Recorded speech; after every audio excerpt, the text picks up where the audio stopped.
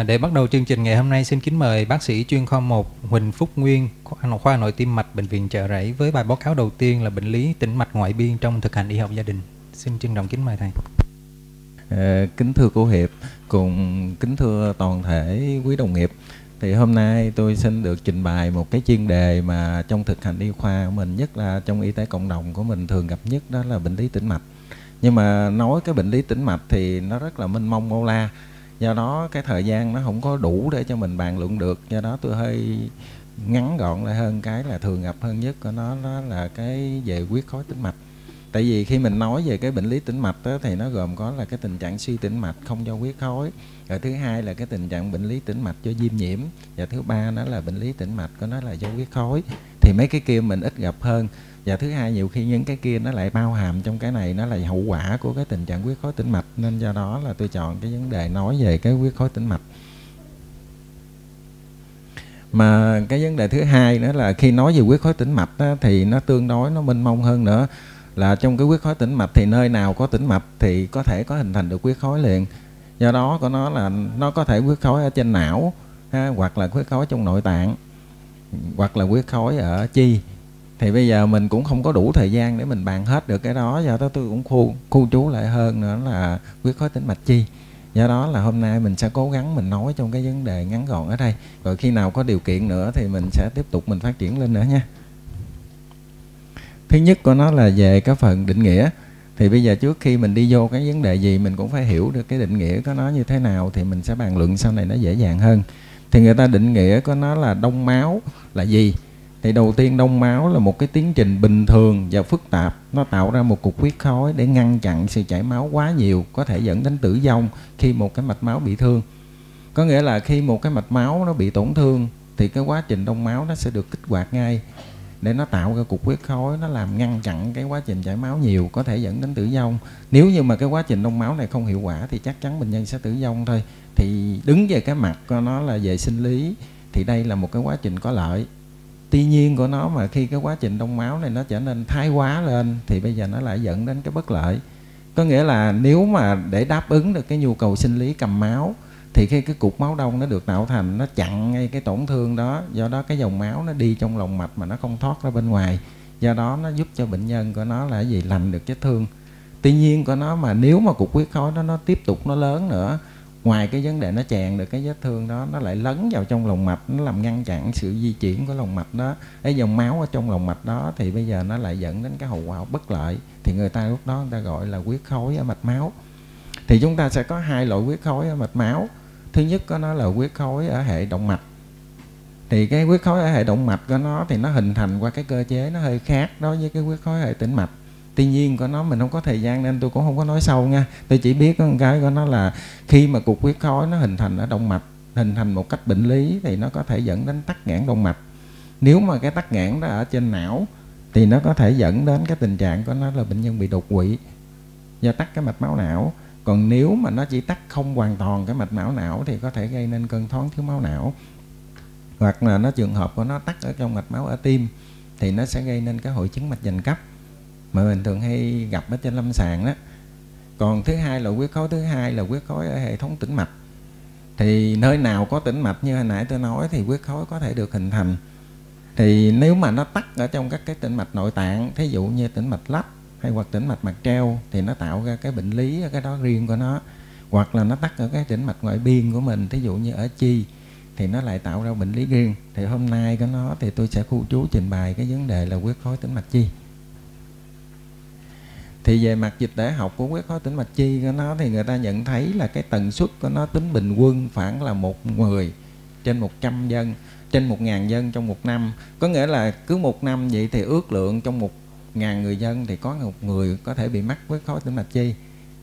Và cái bệnh này đặc biệt của nó là cái điểm chú ý ở đây là nó có liên quan đến cái tuổi. Cái tuổi thì cái quan trọng nhất có nghĩa là khi cái tuổi người ta càng tăng thì cái khả năng, cái xúc độ mà bị huyết khối tĩnh mạch chi nó sẽ tăng theo.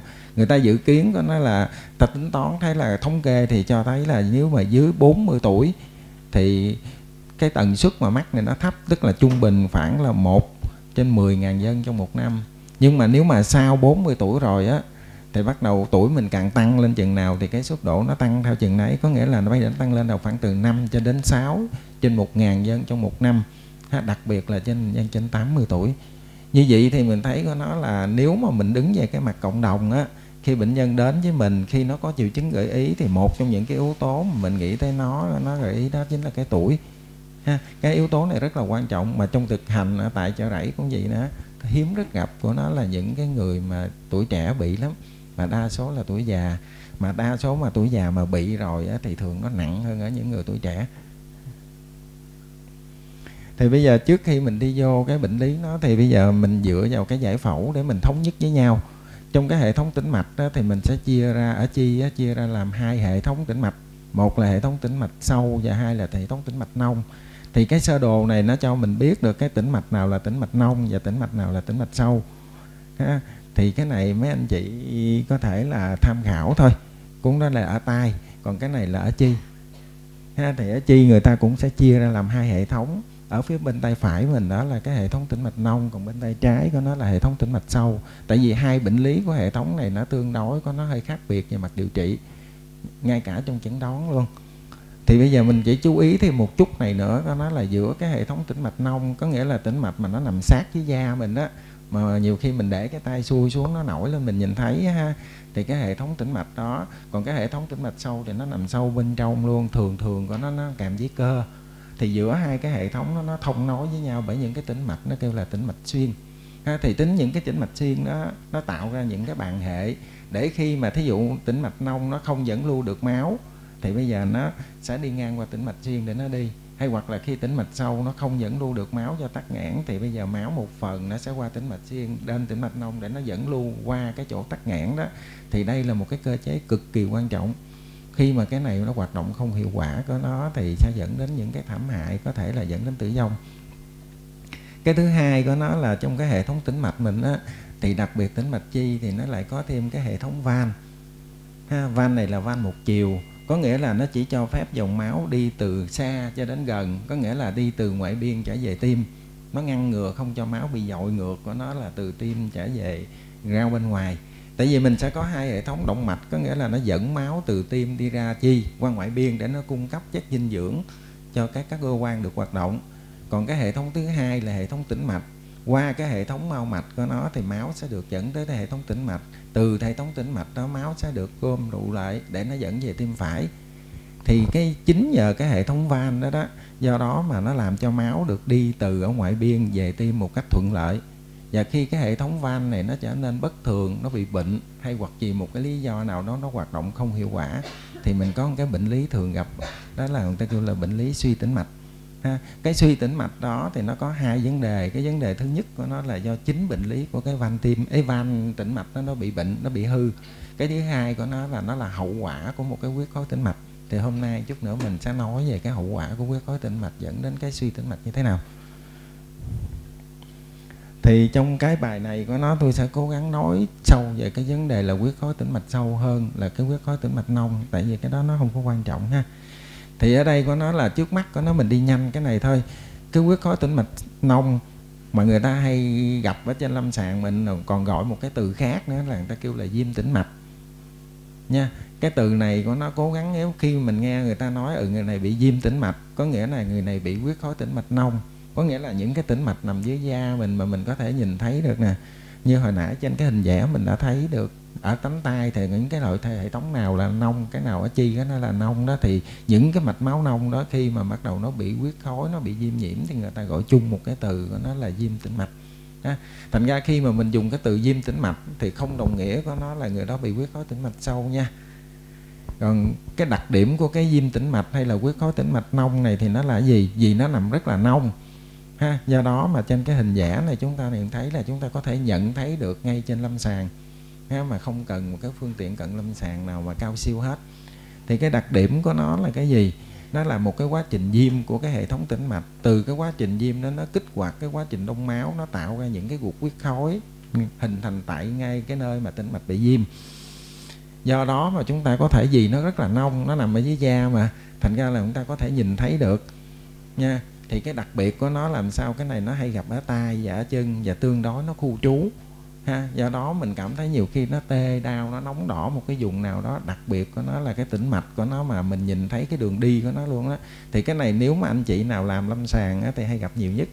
Tức là khi mà điều dưỡng mình làm mà lập một cái đường truyền á mà mình dùng những cái dung dịch u trương thí dụ như kali chloro hay hoặc là mình dùng những cái dung dịch mà dẫn mạch hay là những cái dung dịch mà tăng co bóp thí dụ như dobutamin thì khoảng 1 đến 2 ngày sau một số người nào đó thì mình sẽ thấy ngay cái đường đi của cái tĩnh mạch mà mình được sử dụng đó, nó sẽ đỏ lên, nó đi nguyên một đường dòng đó, có nhiều người nó nổi phòng ha mình sờ rất là đau.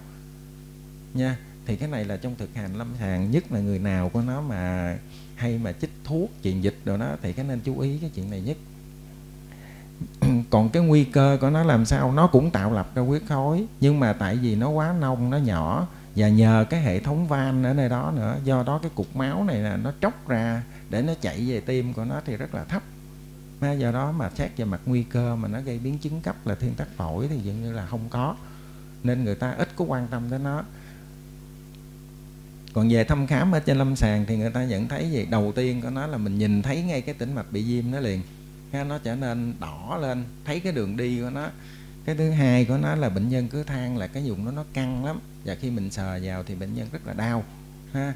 Rồi thứ hai của nó là cái vùng đó nó đỏ mà ngoài cái tĩnh mạch bị viêm thì những cái mô lân cận của nó cũng bị viêm theo, nên khi mình sờ vào cái vùng đó nó ấm. Cái thứ ba của nó là một số trường hợp mình có thể sờ được cả cái tĩnh mạch nó nổi phồng và nó hơi cứng, nó căng lên tại vì nó đang viêm về điều trị cái này thì rất là đơn giản. Mình chỉ cần là sao nếu đó là do cái đường truyền tĩnh mạch mình á thì mình chỉ cần ngưng đường truyền đó mình đổi qua một cái đường truyền khác. Cái thứ hai là mình chỉ cần cho kháng viêm thôi. Thì kháng viêm này nếu tùy theo cái mức độ nó nặng nhẹ của nó mà mình có thể cho đường là bôi tại chỗ của nó hai của nó là có thể cho bệnh nhân uống thì một vài ngày thì nó sẽ tự giải quyết hết. Thì thường là ở đây mình dùng những cái loại kháng viêm không steroid á, thì mình xài rất là hiệu quả cái thứ hai của nó đây mình gặp, và cái này là có nguy cơ cao lắm, có thể dẫn đến tử vong luôn. Đó là tính là huyết khối tĩnh mạch sâu. Thì người ta định nghĩa huyết khối tĩnh mạch sâu là huyết khối nó được tạo thành ở các cái tĩnh mạch lớn. Nhưng mà cái đặc biệt của cái này như hồi nãy tôi có nói có nói là giữa cái tĩnh mạch sâu và tĩnh mạch nông, nó có những cái tĩnh mạch riêng thông nối với nhau, nó tạo ra những cái bàn hệ. Thì cái huyết khối tĩnh mạch sâu này nó chỉ nằm ở tại tĩnh mạch sâu mà nó không ảnh hưởng đến cái bàn hệ do đó máu ở nơi thí dụ như bây giờ người ta bị tắc ở cái tĩnh mạch đùi hay tắc ở cái tĩnh mạch khoeo thì máu thay vì nó đi từ cái tĩnh mạch khoeo nó về tim thì nó có thể qua cái bàn hệ rồi sau nó đi vòng ở cái chỗ tắc để nó đi lên ha, rồi nó tiếp tục nó về tim được. Dù ít dù nhiều nó cũng có nha. Do đó mà cái bệnh lý nó không thảm hại bằng cái hậu quả khi mà nó tắc bàn hệ mà tôi sẽ bàn luận sau này thì bây giờ mình biết nó là sự khác biệt giữa huyết khối tĩnh mạch sâu và một cái loại huyết khối tĩnh mạch sâu kia. Mà nếu thành bàn luận sau này nữa là sao, nó vẫn còn tồn tại được cái bàn hệ, những cái tĩnh mạch xuyên, nó vẫn có thể dẫn lưu máu một phần được. Và thứ hai có nó là như hồi nãy có nói rồi, vì cái tĩnh mạch sâu của huyết khối nó thường là nó hay to, ha. Do đó có nó mà nó có thể bị bong chóc ra, nhất là trong giai đoạn cấp của nó, trong giai đoạn mới của huyết khối nó nó tương đối nó bở thành ra nó có thể gì bong chóc ra, mà khi nó bong chóc ra như vậy thì nó sao? Nó sẽ theo cái dòng máu trở về tim. Nó đến tim phải. Từ tim phải nó sẽ đi lên trên phổi. Nó gây nên tắc cái động mạch phổi. Người ta gọi là thiên tắc phổi. Thì tùy theo cái mức độ thiên tắc nặng hoặc nhẹ của nó mà nó có thể dẫn đến tử vong cho bệnh nhân. Và thậm chí nếu bệnh nhân qua được cơn tử vong đó thì người ta lại có thể dẫn một cái hậu quả rất là thảm hại. Đó là cái bệnh phổi mãn tính do tăng áp phổi thì cái đó cực kỳ khó trị nha do đó mà nếu cái này mình phát hiện sớm mình điều trị tích cực thì mình có thể ngăn ngừa được những cái biến chứng thảm khốc đó cho bệnh nhân. Thứ hai của nó là bây giờ giữa trong cái huyết khối tĩnh mạch sâu này á, thì giữa hay gặp nhất là giữa tay và chân. Thì đa số các trường hợp trên lâm sàng mình gặp ở cái chân nhiều hơn là cái tay cái đó không biết tại sao nha. Thì người ta giải thích rất là nhiều cơ chế. Thì thực ra cái cơ chế nó để mục đích cho thỏa mãn cái biểu hiện trên lâm sàng thôi chứ thực ra về phương diện ứng dụng điều trị thì nó không có gì khác biệt nên ở đây mình không nên mất thời giờ về nó. Cái thứ hai của nó là ở đây mình nên nhớ một cái chỗ này một chút của nó là để ý nè là đối với cái người mà phụ nữ á, thì người ta không giải thích được tại sao á, nó là huyết khối tĩnh mạch này thì nữ là nhiều hơn nam. Và thứ hai của nó là ở cái chân bên trái nó lại nhiều hơn chân bên phải thì tới bây giờ người ta cũng đặt ra rất là nhiều giả thuyết là do cái sự dẫn lưu máu rồi do sự chèn ép về mấy cái cấu trúc hệ thống mạch máu vậy đó. Thì cũng không rõ ràng luôn và người ta cũng không có chứng minh được cái điều đó là đúng nữa. Do đó chúng ta cũng không nên quan tâm quá. Nhưng mà thường thường đặc biệt có một cái là không hiểu tại sao mà trong thực hành lâm sàng trên, ở chợ rẫy là đa số vô là chân bên trái hết. Tôi cũng không biết sao kỳ vậy nữa nha. Còn về biểu hiện trên lâm sàng của nó thì cái đầu tiên là cái chân nó bị sưng thì thường thường người bệnh có cảm giác đầu tiên là nặng chân hay nhất là nặng chân vào buổi chiều á. Rồi sau đó cái chân càng ngày nó càng nặng nhiều lên thì lúc khi người ta phát hiện ra nó nặng nhiều là lúc đó nó đã sưng to rồi nha. Thì cộng với cái trường hợp đó thì bắt đầu khi nó sưng to thì bệnh nhân sẽ cảm giác là nó đau ha. Rồi kèm theo cái đau đó một số trường hợp á, thì cái người ta có cảm giác sốt nhẹ nữa cái đó thì do cái quá trình viêm nó có kết hợp với cái viêm tắc tĩnh mạch này đó, do đó người ta đôi khi có tình trạng sốt nhẹ. Và đặc biệt của nó làm sao cái việc lại của người ta sẽ bị hạn chế. Còn khi mà mình thăm khám lâm sàng của nó như cái hình ở trên này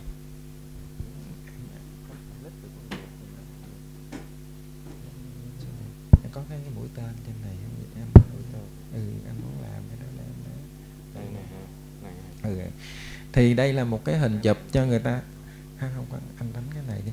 Đây là một cái hình chụp của một bệnh nhân thực tế nhập vào chợ rẫy. Thì người ta bị cái này là huyết khối tĩnh mạch chân thì cái người này có nó là nam giới. Thì sau hơi ngược đời thì ông này, ông lại bị ở chân bên phải chứ không phải là bên trái ha. Thành ra chắc con này ông nghĩ là nam, thành ra ông phải chứng minh mình hơi khác với nữ một chút thì bây giờ chúng ta so sánh giữa hai cái chân ông này ông bị rắc hơi cao tức là ông tắt lên tới trên đùi. Nhưng mà cái này mình chụp ở dưới này cho nó rõ hơn tại cái chân ông dài quá chụp không hết. Thì ông bị tắt ở cái tĩnh mạch đùi. Em thấy là hai cái chân nó bắt đầu nó có sự khác biệt cái chân bên phải nó sưng rất là to ha. nhìn kỹ trên cái hình đó, thì thấy cả những cái mảnh tĩnh mạch nông đó nó đang bị giãn ra tại vì nó đang cố gắng nó dẫn lưu máu tại vì thay vì nó đi từ cái tĩnh mạch khoeo, rồi sau đó về tĩnh mạch đùi, rồi về tim, thì nó tắt từ trên đùi, do đó cái đường đi đó nó bị tắc nghẽn, nên ban đầu nó sẽ cố gắng nó đi qua cái bàn hệ, qua những cái tĩnh mạch khác, để nó dẫn lưu qua cái chỗ tắc nên mình nhìn cái hình này mình sẽ thấy kỹ lên đó là nó có những cái mạch máu nhỏ nhỏ. Và đặc biệt thứ hai là cái chân ở bên phải của nó nó, cái màu nó sậm hơn, nó đỏ hơn giờ so với cái chân bên trái. Tại vì nó sung huyết tĩnh mạch mà. Nhưng mà cái đặc điểm của cái này là cái gì? Là cái chân người ta vẫn ấm nha cái đầu chi người ta vẫn hồng. Và thứ hai của nó là mình sờ mạch nó vẫn độc tốt. Nếu mà khi mà mình nhìn thấy cái này mình không sờ được mạch thì nó thuộc về bệnh lý khác nha. Cái bệnh lý của tĩnh mạch thì cái động mạch nó vẫn hoạt động bình thường. Do đó khi mình nhìn cái này xong thì bắt buộc cái động tác mình là mình phải sờ bệnh nhân mới được nha. Và sờ cái quan trọng nhất là mình bắt mạch.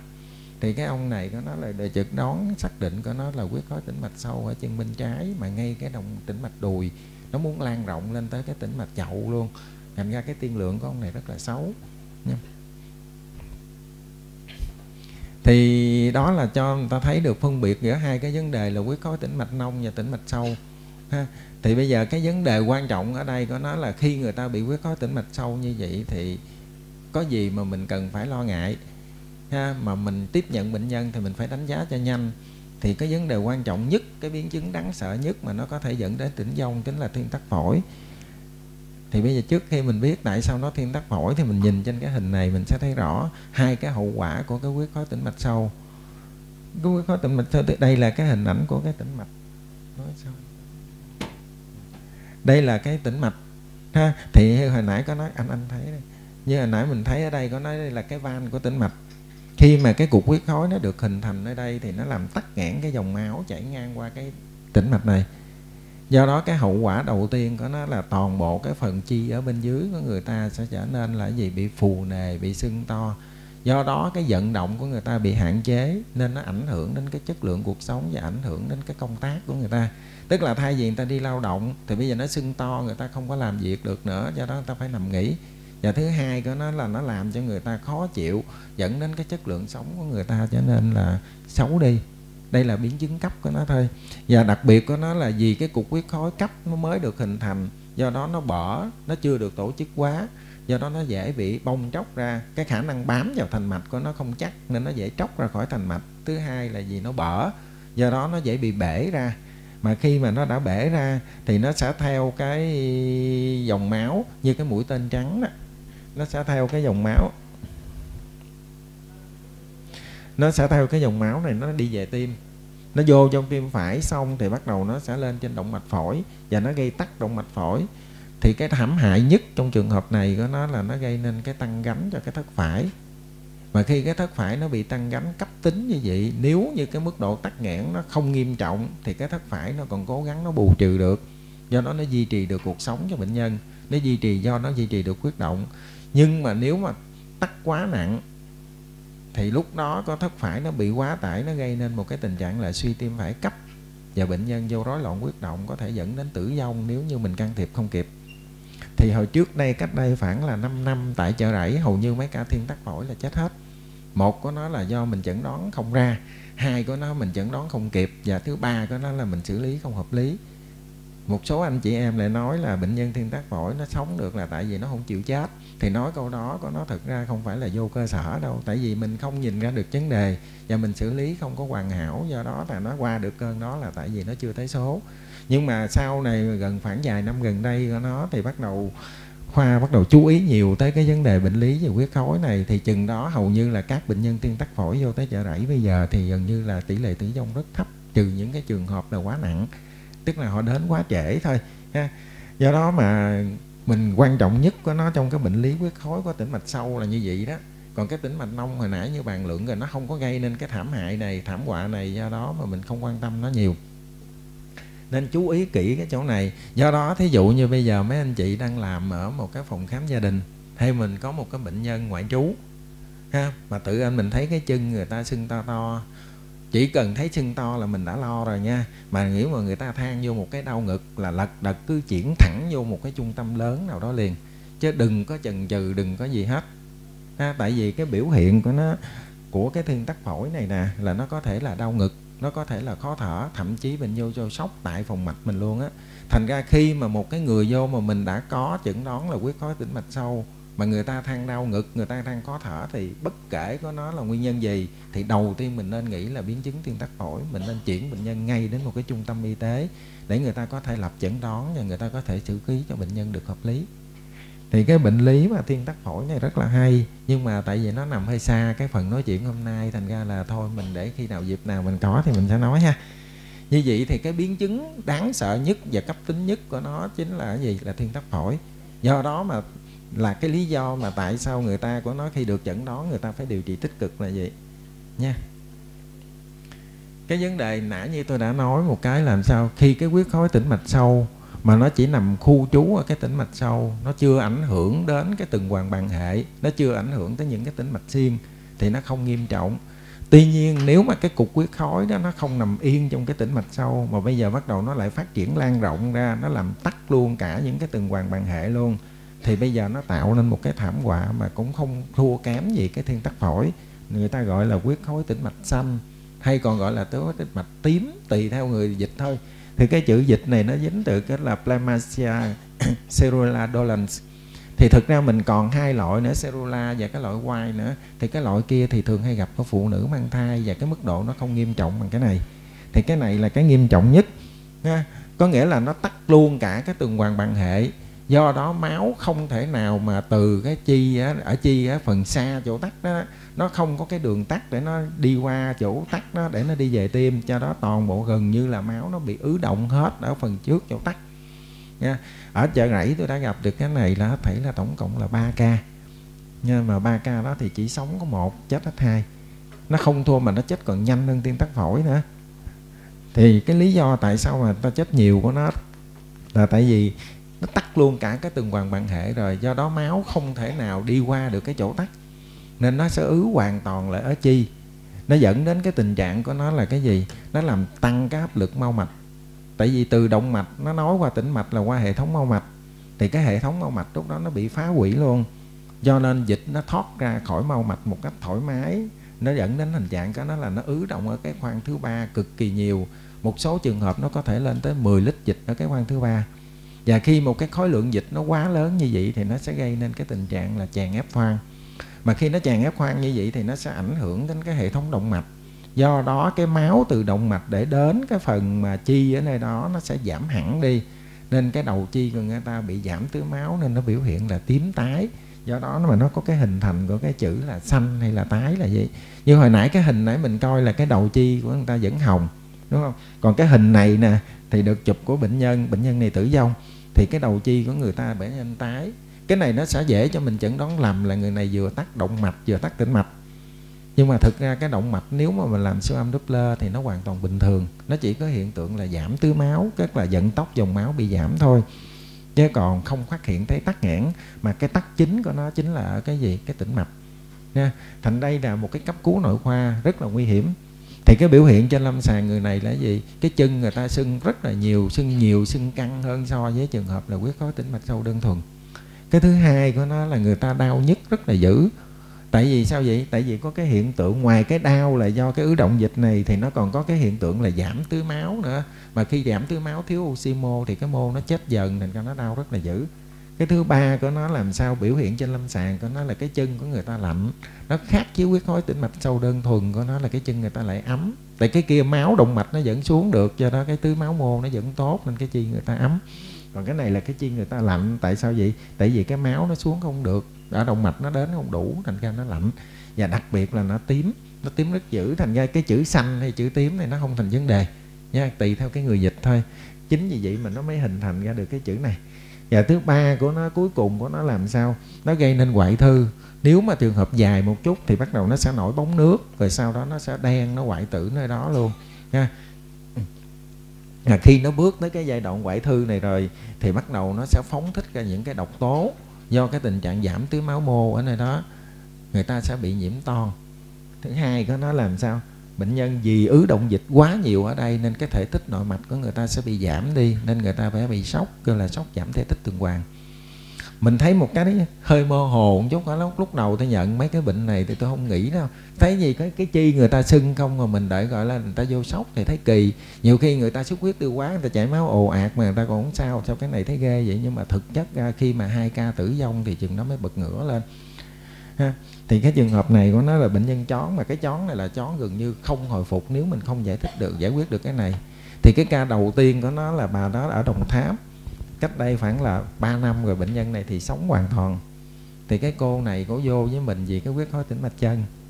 Rồi sau đó của nó thâu cổ lên đau ngực cổ đang nằm trong bệnh viện thì cổ lên đang cơn đau ngực.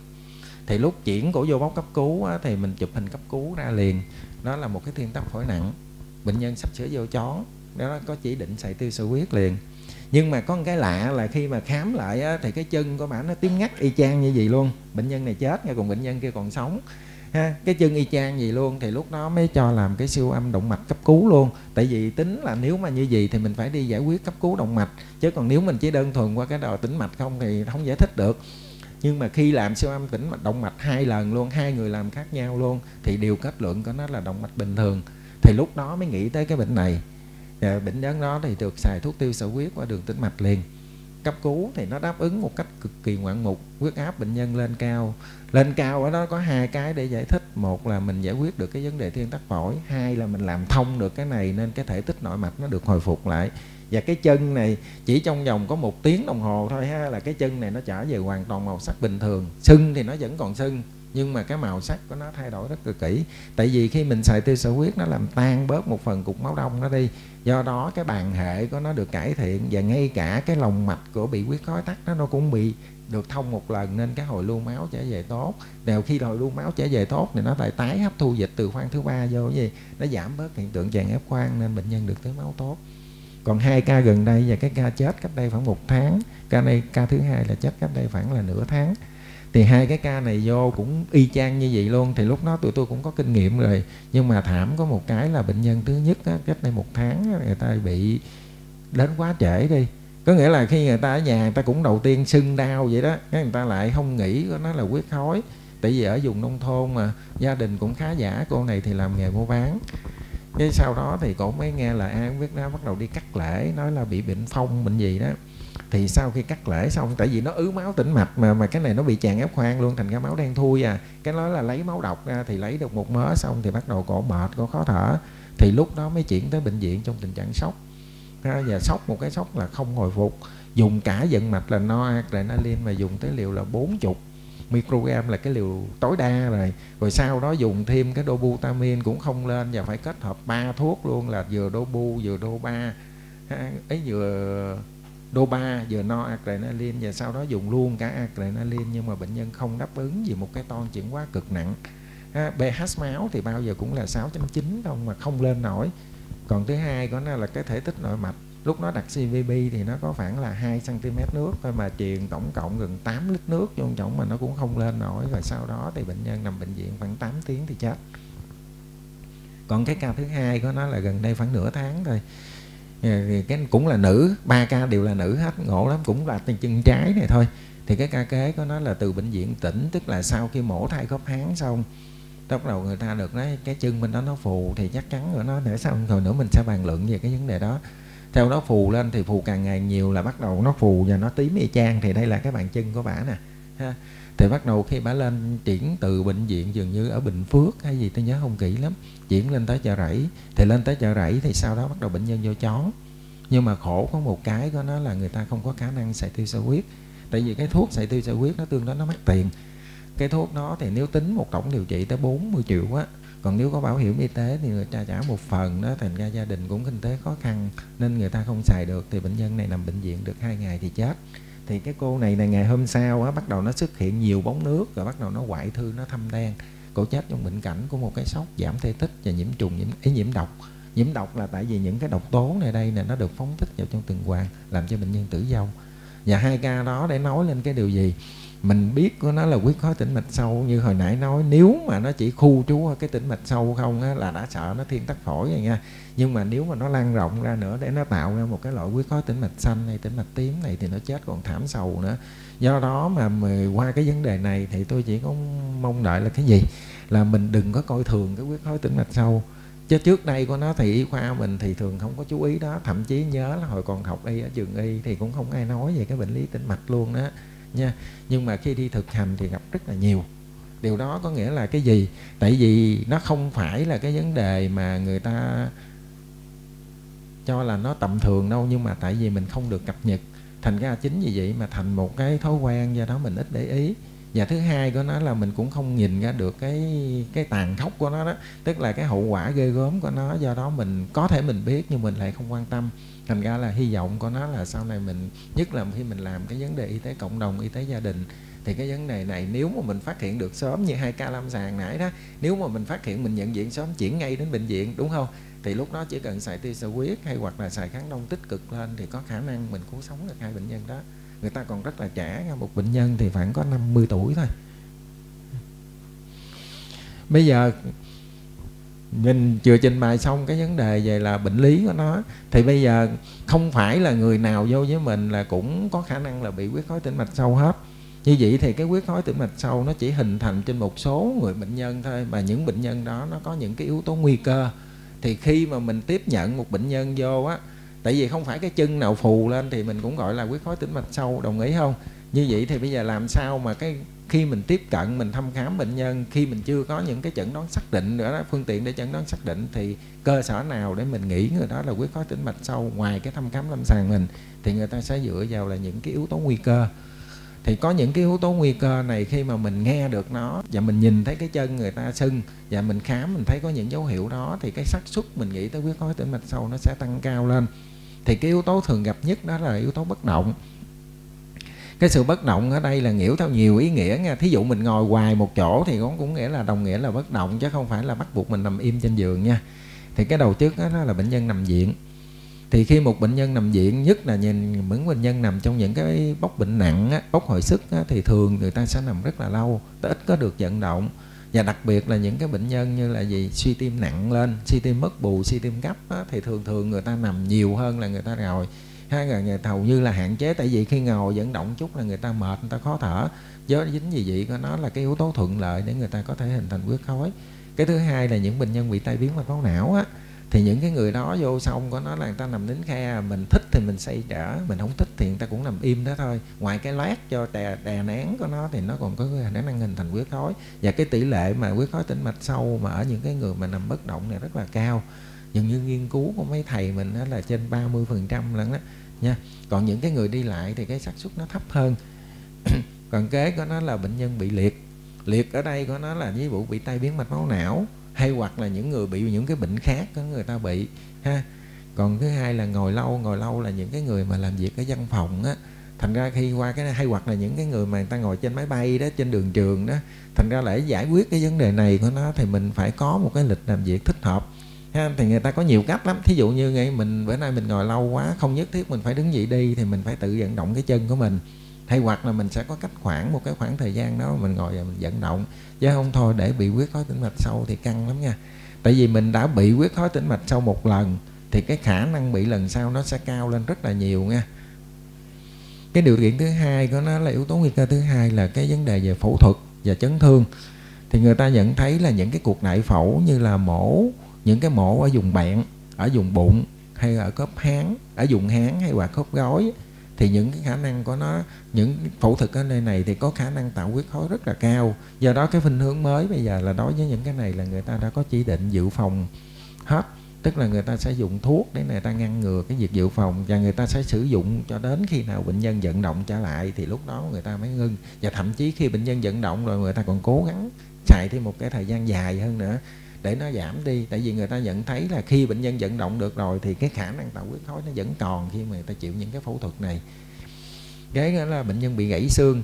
Thì khi người ta bị gãy xương thì nó liên quan đến cái vấn đề là hạn chế vận động của người ta. Đồng thời khi người ta bị gãy, gãy xương đó, thì nó làm tổn thương mạch máu nó làm tổn thương cả cái mô mềm. Và khi mạch máu và mô mềm bị tổn thương thì nó sẽ kích hoạt quá trình đông máu của người ta cộng với cái vấn đề vận động của người ta hạn chế nữa nên người ta dễ bị huyết khối. Ừ. và thứ ba đây là là đặt cái catheter tĩnh mạch. Thì đặt catheter tĩnh mạch lớn á, thí dụ như là trong hồi sức thì mình hay làm cái đường truyền tĩnh mạch trung tâm á, thí dụ ở cổ nè hay hoặc là ở dưới đòn hay hoặc là những cái người mà người ta chạy thận định kỳ á thì người ta hay có những cái catheter của người ta. Thì chính những cái đó rất dễ tạo lập huyết khối nha. Rồi có nó nó sẽ có cái phương pháp dự phòng riêng của nó.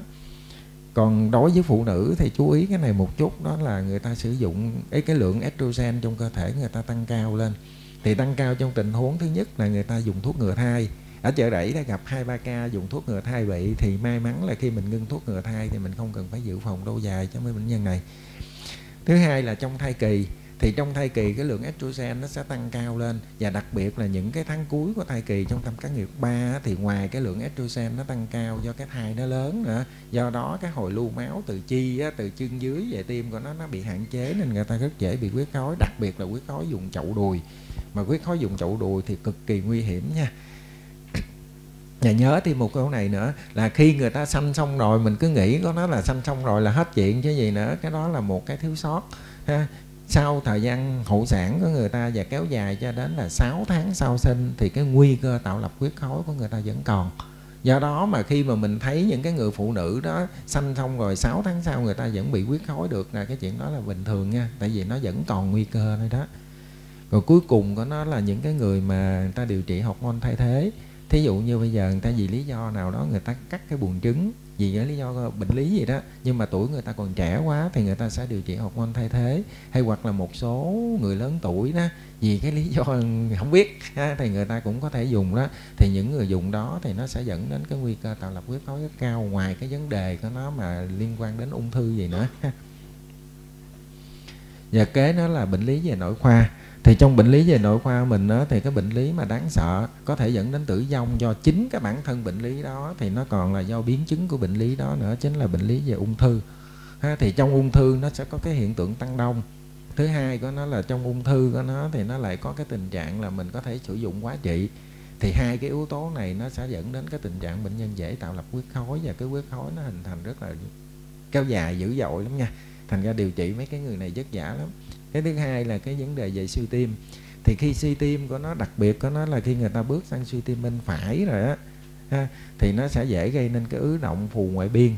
Thì chính cái phù ngoại biên nó làm cho cái tuần hoàn của nó trở nên hạn chế. Và thứ hai của nó là trong suy tim của nó thì có hiện tượng tăng đông. Hai yếu tố đó kết hợp với nhau nên người ta rất dễ bị huyết khối nên khi mà anh chị nào có nó đừng có ngạc nhiên, có nó là có một số trường hợp ở chợ rẫy trước đây không giải thích được, nhưng mà sau này hiểu. Có nghĩa là mình đang điều trị bệnh nhân, thấy bệnh nhân đang tốt dần tốt dần lên, tự nó đột ngột có nó xấu đi rồi nó chết luôn. Không biết tại sao vậy mà trong khi đó mình không tìm được cái yếu tố thúc đẩy, thuốc men mình vẫn giữ nguyên liều, không thấy cái yếu tố nhiễm trùng vậy nhưng mà sau này ra thì biết đó là do đạn thiên tắc phổi tại vì nó đã hình thành cục huyết khối huyết khối nó có thể hình thành trong buồng tim, nó có thể hình thành ở chi. Rồi nó nó chóc ra, cái nó trôi lên phổi. Thì bây giờ một cái người đang suy tim, áp lực động mạch phổi tăng cao, nó đang ở cái mức độ giới hạn, mình đang kéo nó về mà. Cái bây giờ nó thiên tắc phổi, cái nữa là nó đi à. Nó nó xấu đi liền. Thành ra của nó một số khuyến cáo bây giờ, ngay cả suy tim đó là người ta đã có chỉ định dùng kháng đông, ha. Cái thứ hai là các vấn đề về rối loạn miễn dịch thì mình hay gặp của nó như là trong bệnh lupus ban đỏ. Trong cái lupus ban đỏ, nó có một cái yếu tố hay ngược đời là nó có cái kháng thể kháng đông, yếu tố kháng đông. Nhưng mà nó kêu là kháng phospholipid á. Nhưng mà những người có cái yếu tố kháng phospholipid đó thì những người đó lại dễ tạo huyết khối. Nó có cái hiện tượng nó kêu là hội chứng kháng phospholipid màng á. Thì ở chợ rẫy có một cái ca ca đó chết. Ấy không chết, nhưng mà cô đó thì bây giờ để là một cái di chứng rất là thảm. Thì cái cô đó là 32 tuổi. Thì hai năm trước khi nhập lên chợ rẫy á thì cổ đã đột ngột các đầu cổ trở nên lơ mơ nhức đầu. Thì vô đó thì người ta mới chẩn đoán có nó là tai biến mạch máu não lên trên nằm đầu 93 thì tại đầu 93 của nó thì chẩn đoán ra là huyết khối tĩnh mạch não. Sau đó thì cho bệnh nhân về, nằm điều trị xong thời gian cho về nhưng mà không có dùng kháng đông. Thì cách nhập viện cũng khoảng một năm. 6 tháng chứ không phải là một năm. Thì bắt đầu cổ mấy than là sao hai con mắt nó mờ cộng với cái nhức đầu thì cổ lại nhập viện ngược lại cho rẫy nữa cũng nằm trên lầu 93 thì lầu 93 cũng nói của nó là do cái huyết khối tĩnh mạch sâu nó tạo nên vậy thôi tĩnh mạch não thôi chứ không gì hết. Vậy lại cho cổ về. Thì khi cổ về nhà thì con mắt mờ dần mờ dần rồi sau đó là mù luôn không thấy đường. Thì bắt đầu cách nhập viện của nó là khoảng 3 ngày ý, khoảng một tuần. Thì bây giờ cổ lại bắt đầu lên cơn của nó là chón dáng chóng mặt. Rồi sau đó bắt đầu lại nặng ngực rồi mới nhập vô chợ rẫy lại nữa. Thì người ta thấy cái trận đoán cũ, người ta lại cho tiếp tục lên lầu 93 là cái khoa nội thần kinh đó. Thì lên trên khoa nội thần kinh thì được hai ngày, thì bắt đầu tới cái ngày thứ ba thì bắt đầu có lên cơn khó thở. Thì khi mà bắt đầu lên cơn khó thở như vậy, bắt đầu mấy làm tùm lum không đấy cái mấy nghi ngờ là bệnh lý tim mạch. Thì lúc đó mới hội chẩn lên khoa nội tim mạch. Thì bác sĩ trực đêm lên trên đó thì bắt đầu mới nhìn trên cái điện tâm đồ, nhìn trên siêu âm, sao thấy cái thất phải nó lớn quá đi thì mới nghi ngờ là con này thiên tắc phổi thì lúc đó thấy cái chân bên trái nó lại sưng nữa. Thì bắt đầu xong xuôi mới cho chụp liền CT cấp cứu. Thì nó ra là một thiên tắc hai nhánh động mạch phổi lớn luôn thành ra cổ vô sốc. À, cây bắt đầu tụt huyết áp chuyển xuống dưới là 73 thì mai cho con này con nói là gia đình cũng khá nên lúc đó mới quyết định là xài tiêu sợi huyết cho cổ. Thì sau khi xài xong hết đi thì cổ thoát qua được cơn nguy kịch đó. Thì bắt đầu mới nghi ngờ tại vì một cái người phụ nữ mà lại bị huyết khối ở nhiều nơi mà bị tái phát nhiều lần nữa, thì nghĩ tới cái hội chứng kháng phospholipid màng. Thì lúc đó mới làm hết những cái bi lăng về đó thì lòi ra được chẩn đoán xác định là con này có cái hội chứng kháng phospholipid màng. Và chính cái hội chứng này của nó bị bỏ sót ngay trong cái lần nhập viện đầu tiên. Hội chứng này thì mình phải dùng kháng đông suốt đời cho bệnh nhân. Do đó cổ lúc đầu thì cổ bị huyết khối tĩnh mạch nền, rồi sau đó nữa thì bắt đầu cổ bị huyết khối ở tĩnh mạch mắt thành ra cái lần đó có cổ nhức đầu, hai con mắt cổ bị mờ đi, thì người ta lại không chụp lại cái CT để người ta xác định người ta cứ nghĩ cái kia thôi. Thành ra dẫn đến cái hậu quả làm sao nó teo luôn cái đáy mắt con này dần dần, vì nó tưới máu không được, nên con này bị mù vĩnh viễn luôn. Còn cái lần này cổ vô với mình, nó làm sao cái chân cổ sưng. Do đó khi cổ lên cơn đau ngực khó thở, thì lúc đó nó đã lên thiên tắc phổi, ha. Nhưng mà đồng thời có nó làm sao cổ lại nhức đầu chóng mặt, thành ra nó làm cho người ta làm, người ta lại chuyển lên lầu chính nữa rồi khi mà bắt đầu nó lên nặng, lên cục huyết khối nó nặng, nó làm cho quá tải của cái thất phải và khi thất phải bị quá tải rồi đó, thì bây giờ nó lại biểu hiện cái sốc. Thì lúc đó mới mình mới phát hiện ra được cái huyết khối ở cái tĩnh mạch phổi, ý động mạch phổi do thiên tắc. Rồi lúc đó sau khi điều trị thì điều trị con này năm nay cổ vẫn còn sống. Nhưng mà có một cái là cổ mù luôn thành ra là mấy anh chị thấy cái hậu quả nó ghê gớm lắm. Nếu như mà mình chậm hay hoặc là mình không quan tâm tới nó thì cũng khiếp ha. Còn cái kế nữa là trong cái bệnh lý nội khoa là cái hội chứng thận hư. Thì cái hội chứng thận hư này nó có hiện tượng tăng đông rất là dữ nha anh chị. Và điều trị của nó rất là khổ. Khi mà nó mà nó vô mà huyết khối là điều trị vất vả lắm đó nha.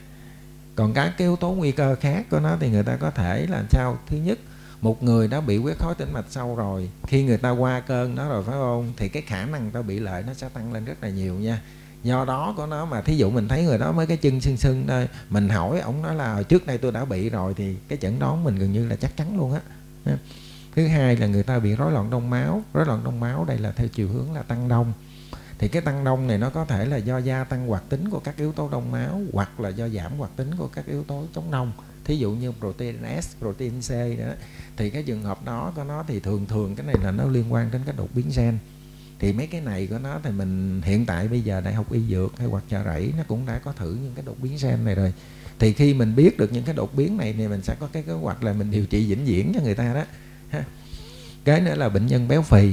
Thì cái yếu tố béo phì này của nó là nó có hai cái trường phái nha có trường phái nó chứng minh là béo phì là một cái yếu tố nguy cơ để tạo lập huyết khối. Nhưng mà có trường phái nó cũng không công nhận.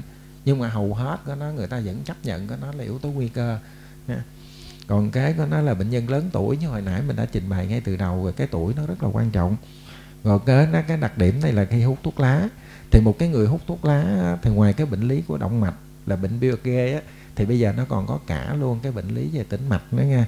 Thành ra là người ta hút thuốc lá thì đừng có nghĩ là động mạch đơn thuần, mà người ta hút thuốc lá là coi chừng của nó huyết khối tĩnh mạch vẫn được tạo thành đó và kế của nó là giãn tĩnh mạch, hay mình gọi là suy tĩnh mạch.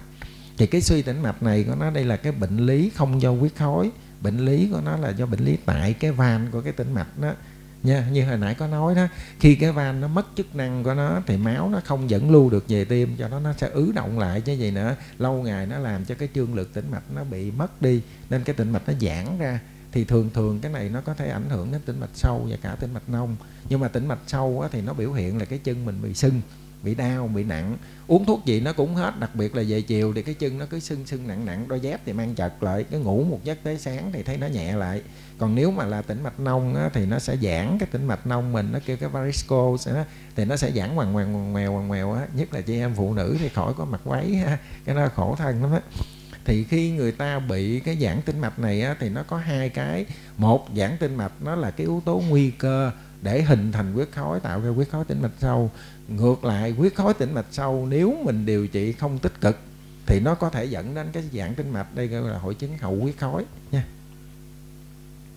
Thì khi mình biết được những yếu tố nguy cơ đó rồi, thì mình mới nói là, ủa, khi có yếu tố nguy cơ đó, thì cái cách nào để người ta có thể tạo được cái huyết khối ở tĩnh mạch sâu thì cái ông Việt sô này là cách đây cũng là lâu lắm rồi đó, không biết ông sanh năm nào nữa, mà ông lại tìm ra được một cái cơ chế. Tại vì người ta đặt ra rất nhiều thực nghiệm, nhiều cơ chế, nhưng không được. Cuối cùng của nó thì ông lại cho mình được một cái tam giác.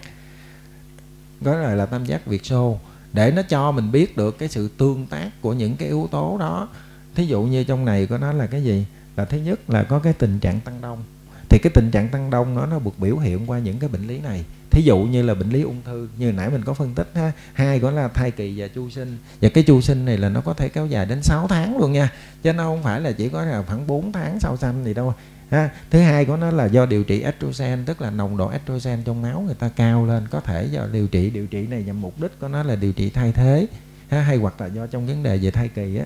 Cái thứ hai là viêm nhiễm ở đường ruột à đặc biệt là cái nhiễm trùng. Cái điểm này rất là hay nha khi mà một người nào đó vô của nó một cái là khi người ta bị nhiễm trùng, nó là cái yếu tố thúc đẩy để hình thành nên huyết khối. Tại vì có một cái bệnh nhân này đã Cần Thơ, ông này cũng là 65 tuổi, thì con ổng là bác sĩ. Rồi rể ông cũng là bác sĩ luôn. Thì kỳ đó sau tự anh ổng lên cơn mệt khó thở, thì ổng nhập vô bệnh viện đa khoa trung ương Cần Thơ. Thì tại đó người ta chụp hình thì người ta thấy thâm nhiễm ở bên phổi ta nghĩ là do viêm, tại ổng có sốt.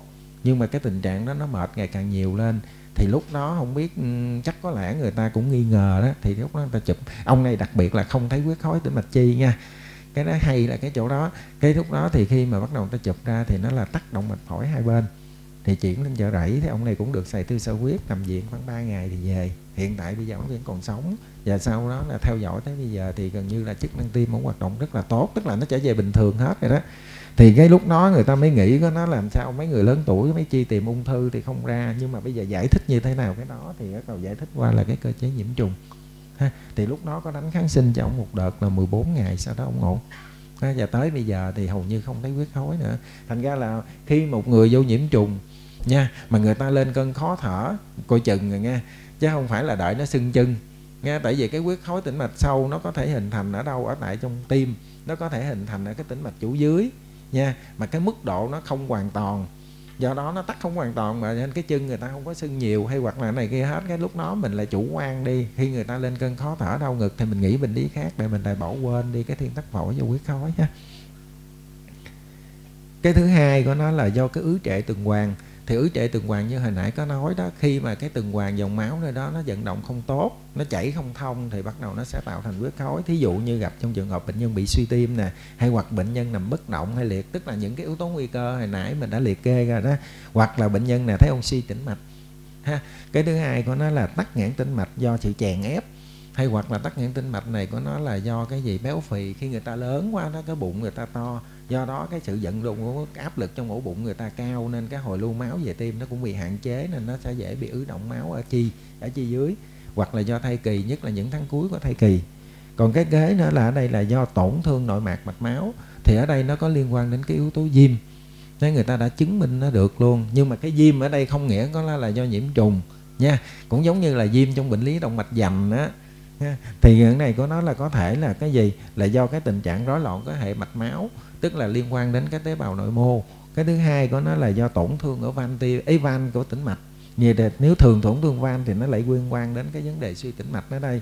Và cái của nó là do chấn thương, do phẫu thuật, ha, hoặc là do đặt catheter khi một cái người nào đó chấn thương hoặc là phẫu thuật, có nghĩa là mình làm tổn thương mạch máu, mà khi mạch máu bị tổn thương thì nó sẽ kích hoạt quá trình đông máu cho người ta, nha thì cái sự tương tác cả ba cái yếu tố này vừa tổn thương nội mạch vừa ứ trệ tuần hoàn và tình trạng đăng đông này, nó tương tác với nhau để nó hình thành nên cục huyết khối ở trong cái tĩnh mạch.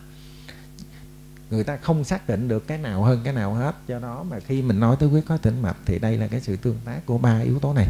Người ta gọi đây là cái tam giác huyệt xô thì bây giờ để chẩn đoán được huyết khối tĩnh mạch sâu của nó thì người ta làm gì?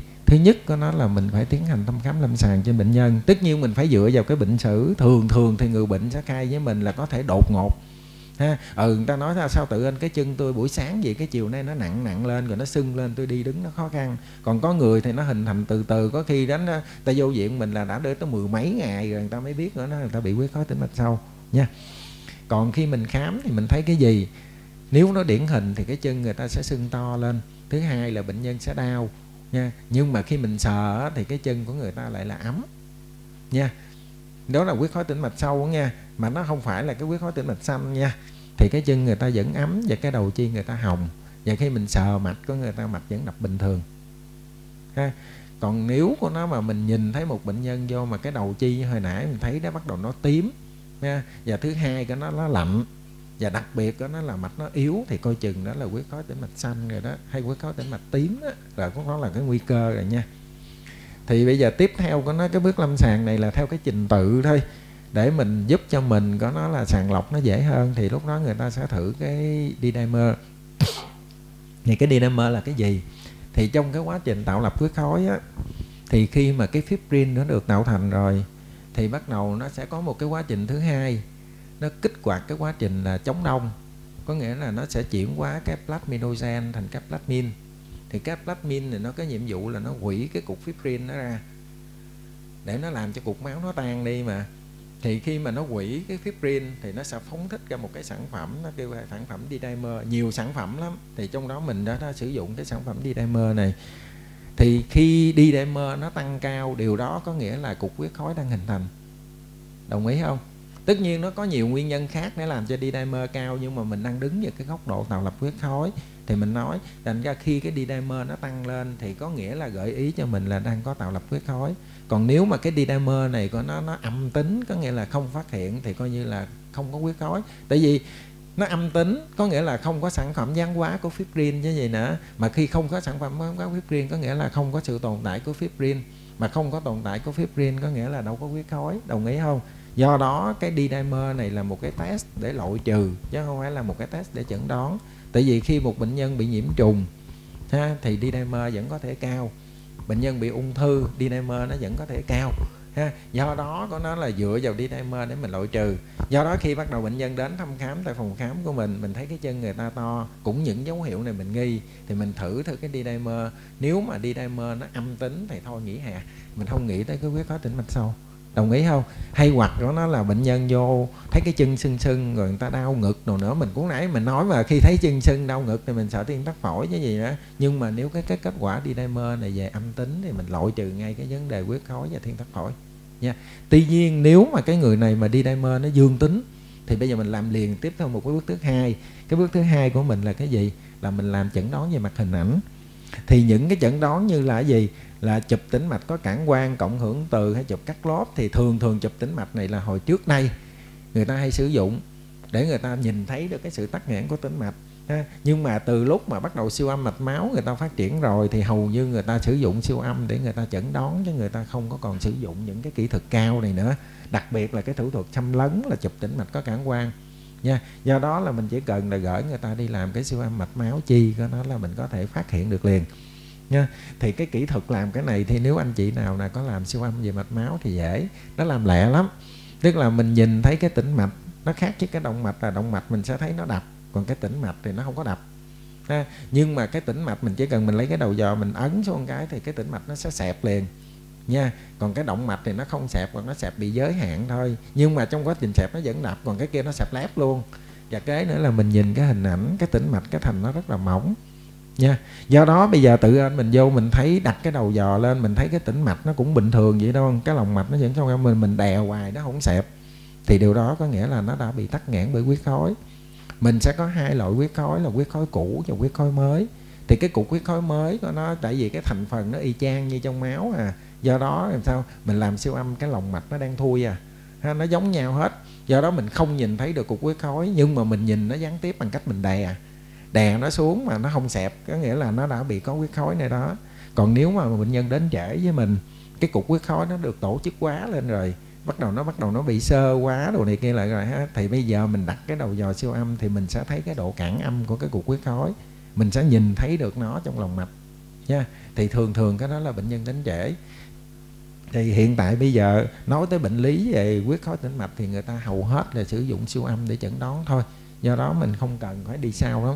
Và cái vấn đề về siêu âm này nếu mà đứng về về mặt y tế cộng đồng và về y tế gia đình mình đó, thì cái này là có thể làm được hết. Do đó mình có thể chẩn đoán rất là nhanh. Còn bây giờ về cái sau khi mình có chẩn đoán rồi thì mình phan bàn tới điều trị. Mình nói sơ về cái phần biến chứng. Mà cái biến chứng này nãy mình cũng đã nói vòng vòng nãy từ nãy giờ rồi chỉ tóm tắt lại thôi. Thì cái biến chứng cấp tính của nó là cái gì? Là khi cục huyết khối này nó bị chóc ra hoặc nó bị bể ra nó trôi lên phổi của nó thì nó gây nên thuyên tắc phổi. Mà nếu mà cái thuyên tắc phổi nặng thì nó có thể dẫn tới tử vong. Cái biến chứng thứ hai là nếu mà cục huyết khối tĩnh mạch sâu này nó lan rộng qua cái bàn hệ, nó làm tắt luôn cả bàn hệ nó luôn, thì bây giờ mình có huyết khối tĩnh mạch tím hay huyết khối tĩnh mạch xanh. Còn về cái biến chứng lâu dài của nó làm sao?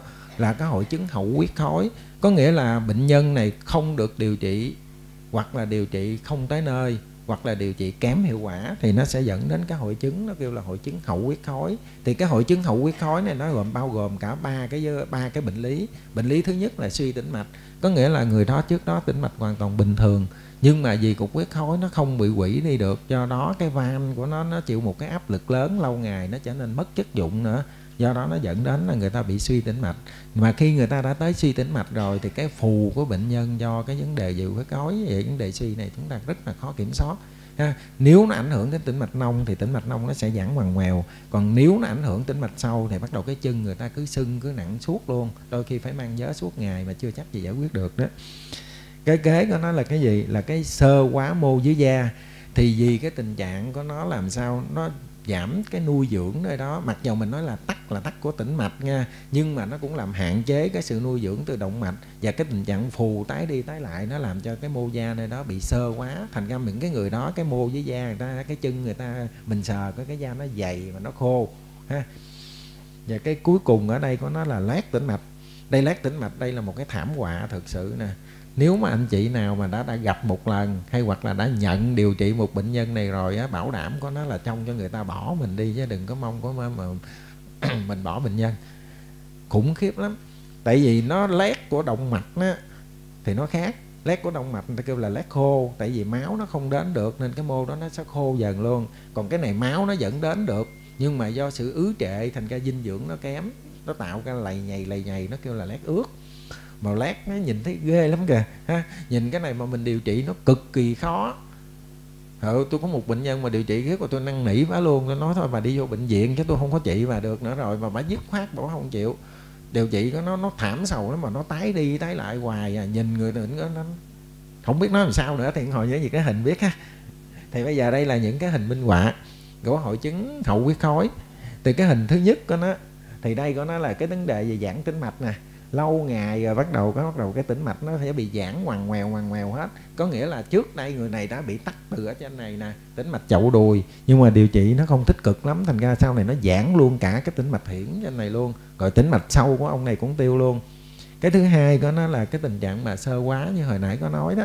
Thì bây giờ là nó sẽ tăng sắc tố và nó đen lại những cái vùng này nhìn cái chân xấu dữ lắm ha. Lúc này mà mặc, thí dụ nam giới mà mặc quần đùi cũng thấy hơi kỳ kỳ ha. Còn nữ giới là chịu thua còn thứ hai của nó là đây là cái lát.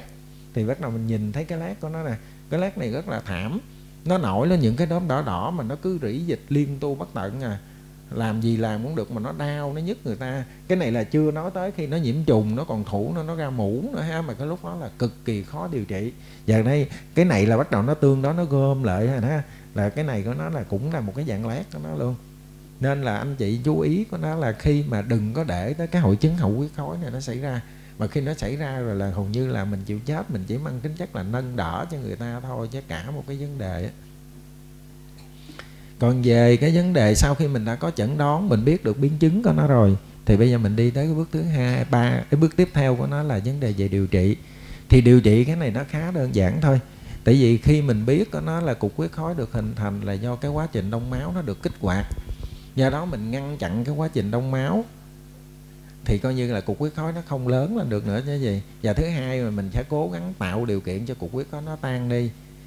Thì cái đầu tiên của nó là người ta được mục đích của nó là ngăn ngừa lan rộng cục huyết khối tại vì khi cái quá trình đông máu còn tiếp diễn, có nghĩa là cục huyết khối nó cứ lớn dần lớn dần. Và khi nó lớn mà nó lan rộng như nãy mà nó tạo ra huyết khối tĩnh mạch sâu ấy tĩnh mạch xanh hay tĩnh mạch tím, đó là lúc đó là cả một vấn đề cho mình rồi. Do đó mình sẽ làm sao có nó mình ngăn chặn cái quá trình đông máu để cho nó không có gì, không còn đông máu được nữa. Nên nó dẫn đến là sao là cục huyết khối nó không lan rộng. Thứ hai của nó là gì? Là mình ngăn ngừa cục huyết khối mới. Tức là bây giờ cục huyết khối đã hình thành rồi thì cái quá trình đông máu có thể bị kích hoạt. Do đó, cục huyết khối đó ngoài nó lớn rộng ra thì nó vẫn có thể hình thành một cục huyết khối mới ở một nơi khác nữa. Và thứ ba của nó là ngăn ngừa cục huyết khối nó bị bể ra, để nó di chuyển, nó đi vào trong lên phổi, nó gây nên thuyên tắc phổi.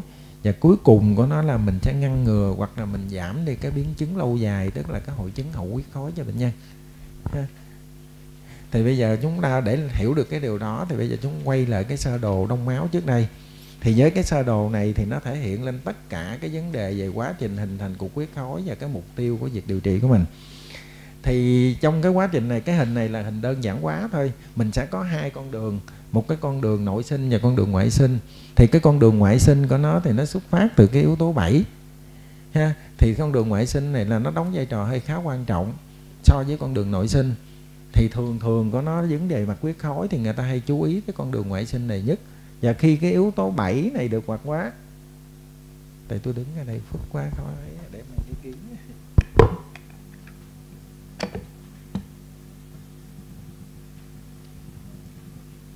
thì khi mà cái yếu tố 7 này là được hoạt hóa thì nó sẽ tác động lên cái yếu tố chính và sau đó nó sẽ kết hợp với cái yếu tố của tiêu cầu để nó hoạt hóa cái yếu tố 10 yếu tố 7 nó phải kết hợp với yếu tố của tiểu cầu. Nó đánh lên trên cái yếu tố 10 này, để nó chuyển cái yếu tố 10 này từ là một cái dạng là tiền enzyme, để nó chuyển thành là yếu tố 10A nó gọi là cái enzyme.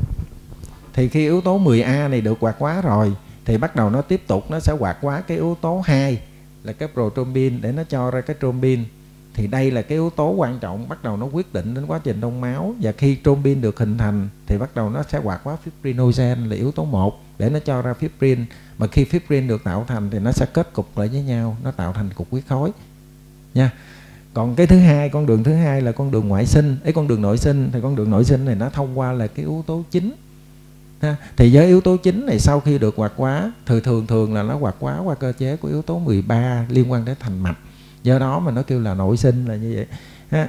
thì cái yếu tố ba 9 này nó cộng với yếu tố 8 nó sẽ lại hoạt quá yếu tố 10 thành cái yếu tố 10 là con đường chung khởi đầu để bắt đầu nó tiếp tục nó hoạt quá yếu tố 2 để nó cho ra cái trombin, rồi trombin này nó hoạt quá yếu tố 1 nó cho ra fibrin. Thì bây giờ mình biết được cái con đường đông máu như gì, thì bây giờ mình sẽ chặn ở cái khâu nào? Thì mình chỉ cần chặn trong một những cái khâu của nó là có thể được. Một của nó là mình sẽ đánh từ con đường ngoại sinh. Hai là mình đánh từ con đường nội sinh. Ba là mình đánh từ con đường chung chỉ cần có nó là gì, làm nghẽn một trong những con đường đó, thì cái quá trình đông máu mình sẽ giảm đi. Nha. mà khi cái quá trình đông máu giảm đi rồi, thì cục máu đông của nó sẽ giảm được hình thành. Do đó mình sẽ ngăn chặn được cái sự lan rộng của cục máu đông, cũng như là mình sẽ ngăn ngừa được sự hình thành cục huyết khối mới. Nha. Nhưng mà nhớ là cái chỗ này nè, là mình dùng thuốc kháng đông, mình ngăn chặn cái này là mình chỉ giảm cái tình trạng đông, chứ không phải là mình làm cho người ta không đông ha. tại vì nếu mà mình dùng thuốc mà tới người ta không đông thì người ta sẽ chảy máu người ta chết. Ha, người ta chưa chết vì cái bệnh kia mà chết vì cái biến chứng điều trị của mình. Do đó đây mình chỉ dùng thuốc làm sao cho cái tình trạng giảm đông thôi. Người ta bị giảm cái đông máu thôi chứ người ta không có ngưng đông. Mà tại sao mình chỉ yêu cầu là làm giảm đông mà có thể là giải quyết được vấn đề? Là tại vì như gì? Khi mà cái fibrinogen này nè cái fibrin này nó được hình thành để nó tạo ra cục máu này nè thì khi lúc đó các cái yếu tố chống đông nó gồm có là protein S, protein C rồi đó thì nó cũng tham gia vào cái quá trình để ly giải cục máu đông này liền. Nhưng mà có một cái đặc điểm rất là quan trọng của nó làm sao là cái plasminogen nó nằm ở trên cục máu đông này nó sẽ được kích hoạt ngay. Nó sẽ phóng thích cho mình ra một cái plasmin thì cái plasmin này nó có tác dụng là nó quỷ cái fibrin fibrin này nè để nó cho ra cái sản phẩm gián hóa mà một trong những sản phẩm gián hóa nãy là mình nói là cái dimer đó ha do đó, nếu mà bây giờ mình chỉ cần giảm cái quá trình đông này, thì nhờ cái plasmin nội sinh của nó đó, nó sẽ làm cho cái cục máu đông này tự tan đi. Ha, cái đó là cái quá trình mình kêu là cái gì? Là điều trị của nó là thụ động. Có nghĩa là mình chỉ tạo điều kiện cho cái fibrinogen của nó tan ý fibrin nó tan đi qua cái tiến trình ly giải của huyết khối nội sinh thôi.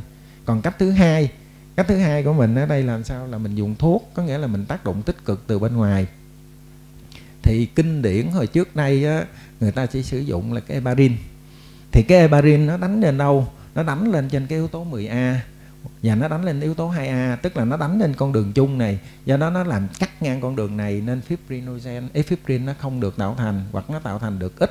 Do đó cái quá trình gì? Quỷ cục huyết khối nội sinh nó sẽ xảy ra. Nên cái cục huyết khối đó có thể tự tan hoặc là nó không lớn rộng hoặc là nó không hình thành thêm nha.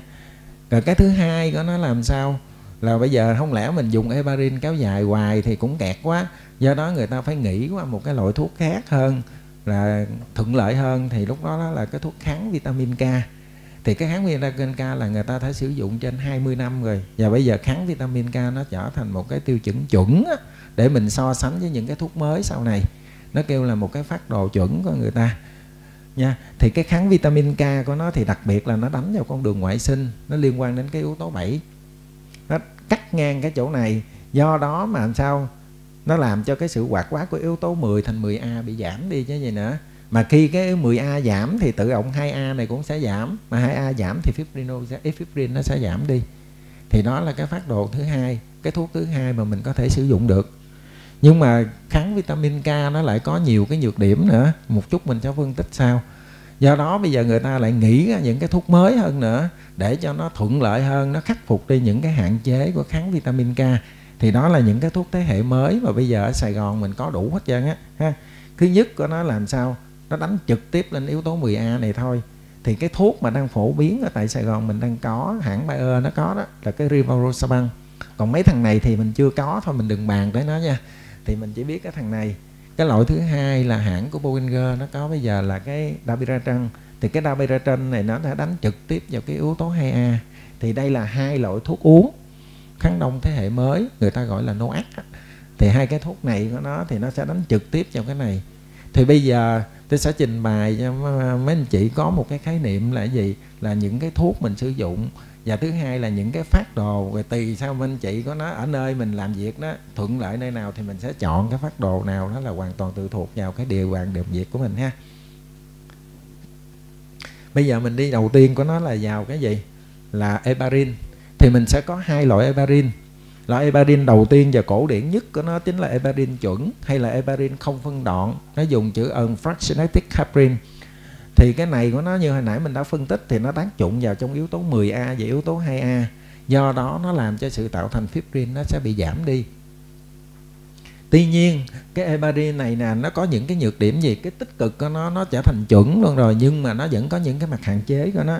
Cái hạn chế đầu tiên là mình khó dự đoán được cái sự tương quan giữa liều thuốc và hiệu quả điều trị.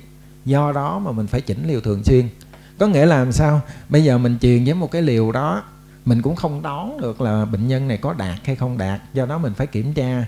Thì kiểm tra nó thường là mình phải sử dụng cái hai cái xét nghiệm. Thường của nước ngoài nó dùng cái là ACT hay hoặc là mình dùng cái IPTT thì cái IPTT của nó làm sao? Cứ khoảng 4 tiếng đồng hồ hoặc 6 tiếng đồng hồ mình phải xét nghiệm một lần. Nếu như nó đạt từ 80 giây trở lên hay là nó gấp từ 2 cho đến 2,5 lần trứng thì là đạt. Nếu nó vượt quá cái đó cái mình lại phải giảm liều xuống đúng không? Còn nếu mà nó chưa tới đó mình lại tăng liều lên. Có nghĩa là mình không tìm được cái mối tương quan giữa cái liều và cái hiệu quả điều trị bằng cách đó, nó là mình tiên đoán. Do đó mình cứ phải làm xét nghiệm hoài à.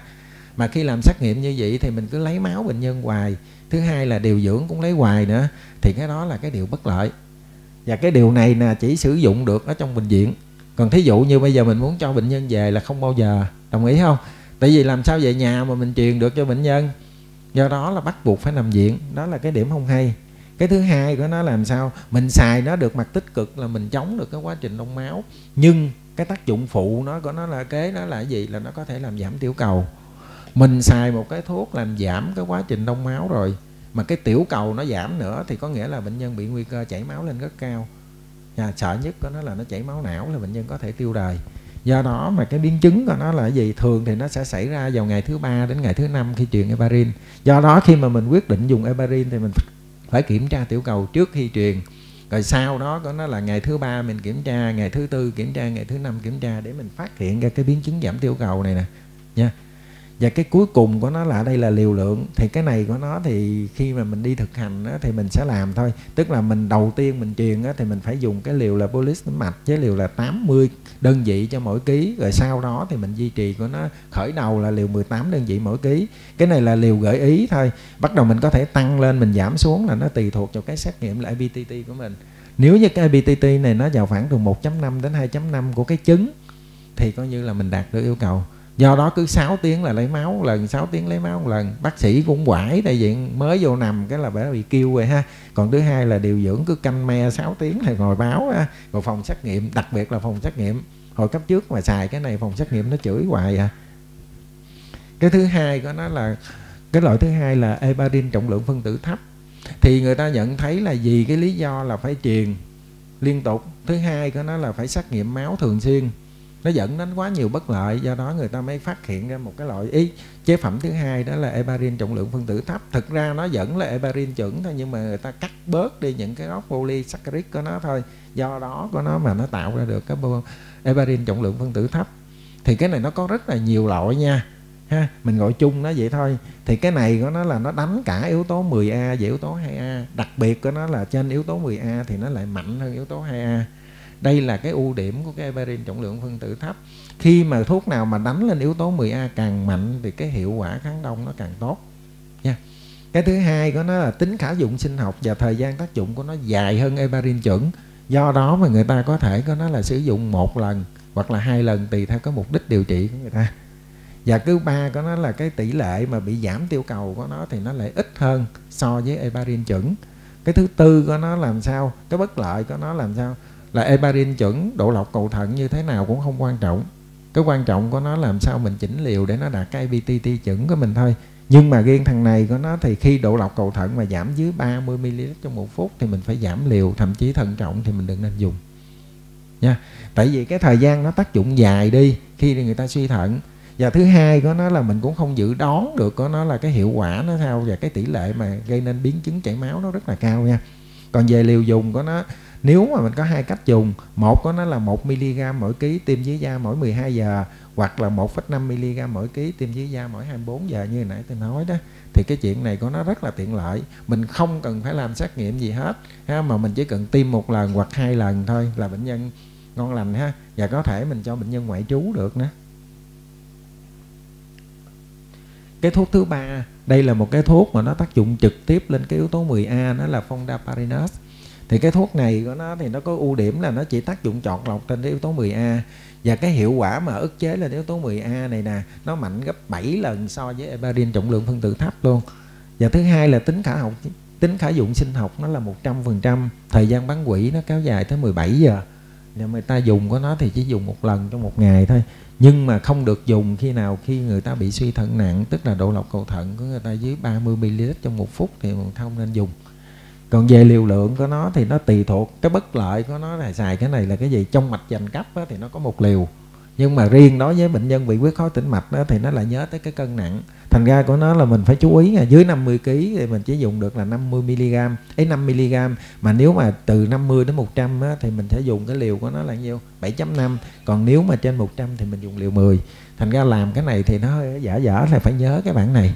Ha nhưng mà cái lợi nó là mình chỉ tiêm một lần trong một ngày thôi rồi cái nãy như đã nói, có nó là cái thuốc tương đối kinh điển và nó được coi là cái thuốc chuẩn để so sánh, làm cái chuẩn để mình so sánh cái hiệu quả của những cái thuốc mới bây giờ đó. Đó là thuốc kháng vitamin K.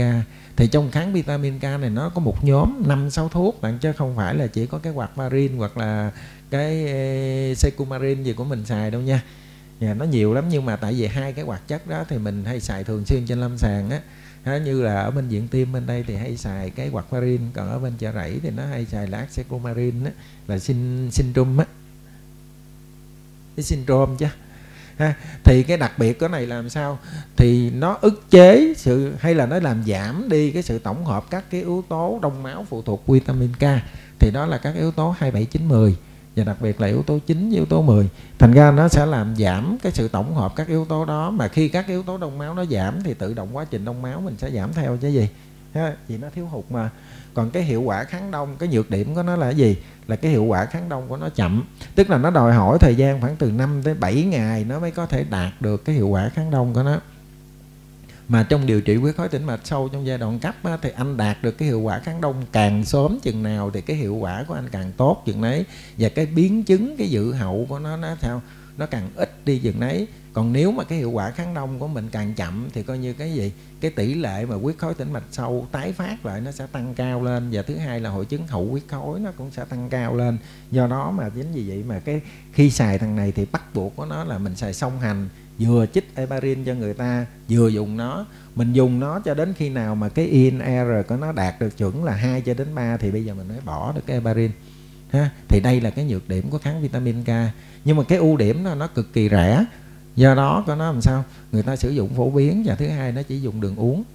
Nhưng mà cái nhược điểm kế nữa là làm sao? Khi mà mình qua được cái giai đoạn cấp này rồi á, thì cái chuyện là thử nồng độ INR của nó làm sao? Nó hay bị dao động lắm tại vì sao vậy? Tại vì kháng vitamin K này nó có tương tác với thuốc uống, và đặc biệt là tương tác với thức ăn. Mà những cái thức ăn nào mà có chứa cái hàm lượng vitamin K cao, chừng nào thì cái hiệu quả của thuốc kháng vitamin K mình nó sẽ giảm đi chừng đấy. Do đó của nó mà làm sao nó làm cho cái INE này nó dao động, mà người ta chứng minh cho mình thấy làm sao cái mức độ điều trị của cái kháng đông này nè, mà khi cái INE này nó dao động càng nhiều tức là cái nếu mà nó dưới ngưỡng này mà vượt quá 50% của nó thì tỷ lệ tái phát của nó lên đến từ 2 cho đến 5 lần. Ha. do đó mà làm sao bệnh nhân cứ phải tháng lại thử thử cái này hoài. Tháng này lại thử, tháng sau xét nghiệm cũng thử, rồi tháng sau xét nghiệm cũng thử. Mình thử thì mình chỉ nói được cái INE tại thời điểm mình thử, nhưng mà giữa hai tháng này thì INE chưa chắc gì đạt yêu cầu à do đó một số người khi mà xài cái kháng vitamin K này nè, vô cái chân lúc đầu mình cho xuất diện chân xẹp, mình xài cái lần sau lên chân sưng chùi à tại sao vậy? Là tại vì cái thời gian qua cái INR bắt đầu nó dao động và nó dưới ngưỡng điều trị, do đó huyết khối nó có thể hình thành lại. Nha. Thành ra chính vì vậy mà nó có quá nhiều nhược điểm, nhưng mà trước đây mình phải xài nó là tại sao vậy? Tại vì mình không có thuốc thay thế. Thứ hai của nó là cái giá thành nó khá rẻ, thành ra là ai cũng dễ dàng chấp nhận. Còn bây giờ kế nữa là cái thời gian gần đây thì bắt đầu người ta đưa ra một cái thế hệ mới về thuốc kháng đông qua đường uống, nó gọi là noac đó thì cái thuốc này nó thì nó có hai nhóm mà được nghiên cứu nhiều. Thứ nhất là kháng 10A thì đại diện của nó ở tại Việt Nam mình có. Nó có nhiều lắm nha nhưng mà mình chỉ nói thuốc mình đang phổ biến thôi. Đó là Rivaroxaban. Biệt dược của nó là cái Sarento á. Ha nó có ba hàm lượng là 10, 15 và 20 để cho mình chọn lựa và cái thứ hai là cái loại kháng trực tiếp lên yếu tố 2A là Dabigatran là capradasa đó. Đã có hai hàm lượng là 110 với là 150 thì hai cái thuốc kháng đông đường uống mới này nè, nó có cái đặc điểm gì? Ừ. Nó có cái đặc điểm thứ nhất của nó là nó là đường uống, ha. Thứ hai là cái nồng độ kháng đông của nó đó, nồng độ hiệu quả kháng đông của nó trong máu khá ổn định và ít tương tác với thuốc và thức ăn, ha. Do đó mà cái ngưỡng điều trị nó ổn định ở trong máu, nó dẫn đến cái là cái gì? Là cái hiệu quả mong đợi mình ngon lành, ha. Và thứ ba nó là gì nồng độ nó rất là ổn định do đó mà mình không cần phải thử xét nghiệm gì hết, cứ cho bệnh nhân uống thôi, theo phát đồ là được rồi nhưng mà cái bất lợi của nó là nó cực kỳ mắc một cái viên Rivaroxaban này nếu trong bảo hiểm là 58 ngàn, còn ra bên ngoài mua sáu mươi mấy, hồi cái thời điểm cao điểm lên tám mươi mấy ngàn một viên, nhiều khi uống đứt vốn luôn á còn cái Dabiratrăng này của nó là 38 ngàn một viên, một ngày hai viên quất ra cũng gần bảy mấy ngàn rồi, ha. còn lúc cao điểm còn khủng hoảng nữa thành ra hai cái công ty này nó no lắm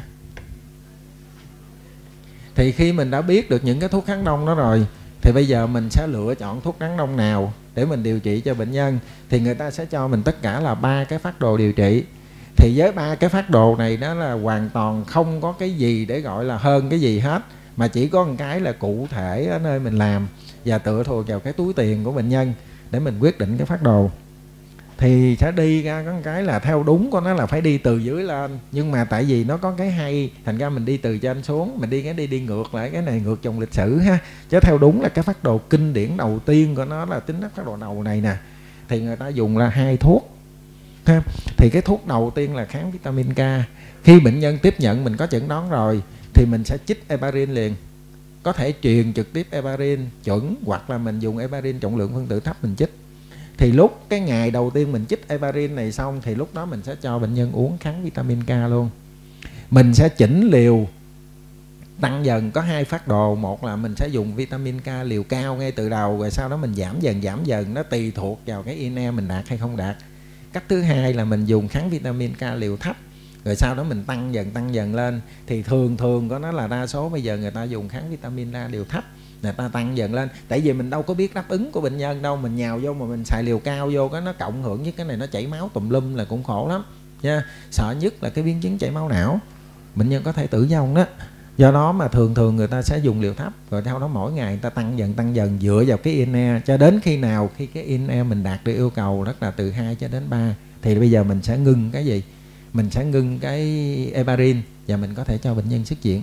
Và hẹn tái khám mỗi tháng nha thường thường người ta ấy, xài này người ta sẽ hẹn tái khám lần đầu tiên là hai tuần rồi sau đó là 4 tuần. Nếu nó ổn thì cứ 4 tuần 4 tuần mình khám tới cho tới hết thời gian điều trị. Cả cái phát đồ này á, thì nó lại có cái nhược điểm là gì? Mình phải cho bệnh nhân bắt buộc phải nằm viện nè. Nha và mình cũng chích thành ra nó cũng khó chịu bệnh nhân lắm. Do đó mà bây giờ người ta sử dụng cái thuốc kháng đông hai phát đồ trên rồi cái thuốc kháng đông thế hệ mới. Thì thuốc kháng đông thế hệ mới này là thứ nhất là dabiratrăng thì cái liệu pháp này người ta cũng kêu là liệu pháp kép. Tại sao vậy? Tại vì điều đó bắt buộc của nó là phải dùng heparin trong 5 ngày đầu tiên, ít nhất là 5 ngày đầu tiên nha. Ha, rồi sau khi chích heparin đúng 5 ngày rồi thì bây giờ mình mới chuyển sang cái dabiratrăng cho uống. Do đó cái phát đồ này nó hay là chỗ nào là mình không cần phải làm xét nghiệm. Nhưng mà cái nhược điểm nó thì nó vẫn lặp lại cái nhược điểm của phát đồ thứ nhất của nó là cái gì? Mình phải chích. Do đó bệnh nhân phải nằm viện. Ha và cũng làm đau, làm bầm da gì tùm lum hết. Thì bây giờ còn cái phát đồ cuối cùng, nó kêu là phát đồ đơn trị liệu. Ha, cái phát đồ đơn trị liệu này là mình dùng rivaroxaban, tức là nó kháng trực tiếp lên yếu tố 10A thì với cái phát đồ này làm sao khi, sau khi có chẩn đoán xong thì mình cho uống liền, mình có thể cho bệnh nhân ngoại trú luôn. Ha, thì là uống với cái liều là nhiêu? 15 mg hai lần trong một ngày. Uống liên tiếp trong là 30 21 ngày. Sau đó mình sẽ bắt đầu chuyển sang cái liều duy trì là nhiêu? Là 20 mg một viên một ngày uống cho hết cái thời gian điều trị của mình. Thì cái phát đồ này nè thì thường thường nó được ưa chuộng hơn. Tại sao vậy? Tại nhất là mình làm với cái cộng đồng nữa. Thứ hai là bệnh nhân đến với mình sau khi có chẩn đoán xong phải không? Là mình cứ cho bệnh nhân đi mua.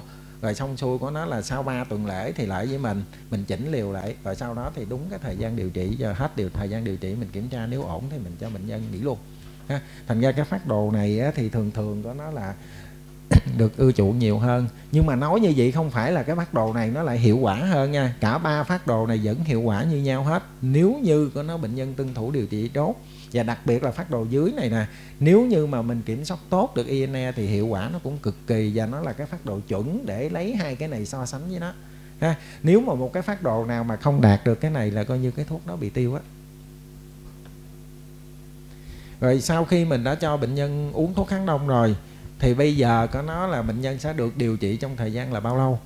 Thì mình muốn biết được bệnh nhân điều trị trong bao lâu á đó thì bây giờ mình phải biết thêm một cái là yếu tố gây xuất huyết khi người ta sử dụng thuốc cắt đông. Thì đây là cái tuổi hiệp hội lồng ngực Hoa Kỳ.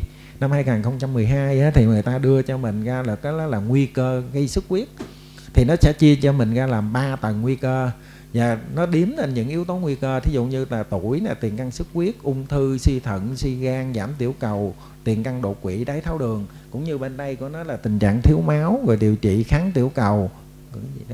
Rồi kiểm soát ừ, gì khó thấy quá. Kiểm soát chức năng kém gì đó. Tức là mình sẽ có nguyên một cái trong này có một, hai, ba, bốn, rất là nhiều yếu tố nguy cơ. Thì bây giờ người ta sẽ tin cho mình có nó là không có yếu tố nguy cơ nào hết, thì RR người ta coi đó là nguy cơ thấp thấp. Thì với cái nguy cơ thấp này thì mình sẽ điều trị ngon ăn nè. Còn nếu mà nó chỉ cần một yếu tố nguy cơ, tức là chỉ có một trong những yếu tố này thôi, thì bây giờ mình gọi đó là nguy cơ trung bình. Nhưng mà nếu nó có từ hai trở lên, thì bây giờ là nguy cơ cao. Có nghĩa là cái khả năng chảy máu của bệnh nhân có thể tăng lên rất là nhiều. Nha, thì ta kết hợp cái đó nhất của nó là đánh giá về cái yếu tố nguy cơ gây chảy máu. Cái thứ hai của nó là làm sao? Là bây giờ người ta mới đánh tiếp của nó là cái thời gian điều trị kháng đông này nó còn góp phần quan trọng của ba cái thành phần ngoài cái yếu tố nguy cơ đó. Thì thứ nhất của nó là cái bệnh ung thư, người nó có hay không và nó đang tiến triển hay đã được kiểm soát rồi. Cái thứ hai của nó là cái yếu tố nguy cơ sẵn có, mà yếu tố này có thể đảo ngược, có nghĩa là mình có thể sửa chữa được. Thí dụ bây giờ bệnh nhân phẫu thuật nè, thì sau phẫu thuật xong có nó mình cho dự phòng gì nữa, bệnh nhân đi lại đồ là mình để điều trị đủ ngày thôi. Tại vì không thể nào phẫu thuật suốt đời đúng không? Mình chỉ làm một lần thôi.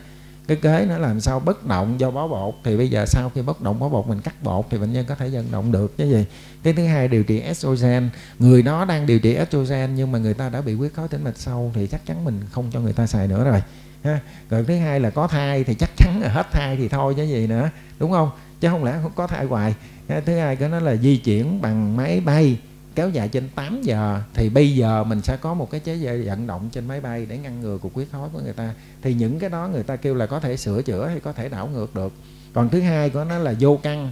Có nghĩa là mình cũng không biết ở đâu hết. Thứ nhất của nó là không tìm thấy được yếu tố nguy cơ. Có nghĩa người ta vô huyết khối tĩnh mạch xong mà tìm hoài không thấy nguy cơ gì hết thì người ta gọi đó là tình trạng vô căn. Cái thứ hai của nó là có thể của nó là do rối loạn đông máu di truyền thì cái này thường thường của nó là mình phải thử xem mình mới nói được. Kế nữa là là người ta đã bị huyết khối tĩnh mạch sâu nguyên phát trước đó rồi thì cái khả năng bị lại. Thì bây giờ mình sẽ dựa vào hai cái đó để bắt đầu mình quyết định được cái thời gian điều trị cho bệnh nhân.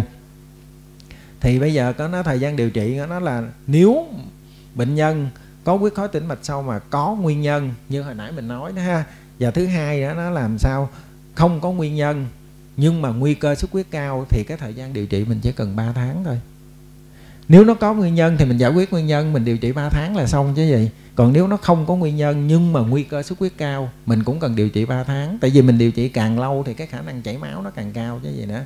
Do đó người ta chỉ cần 3 tháng thôi rồi sau đó người ta theo dõi, theo dõi nha.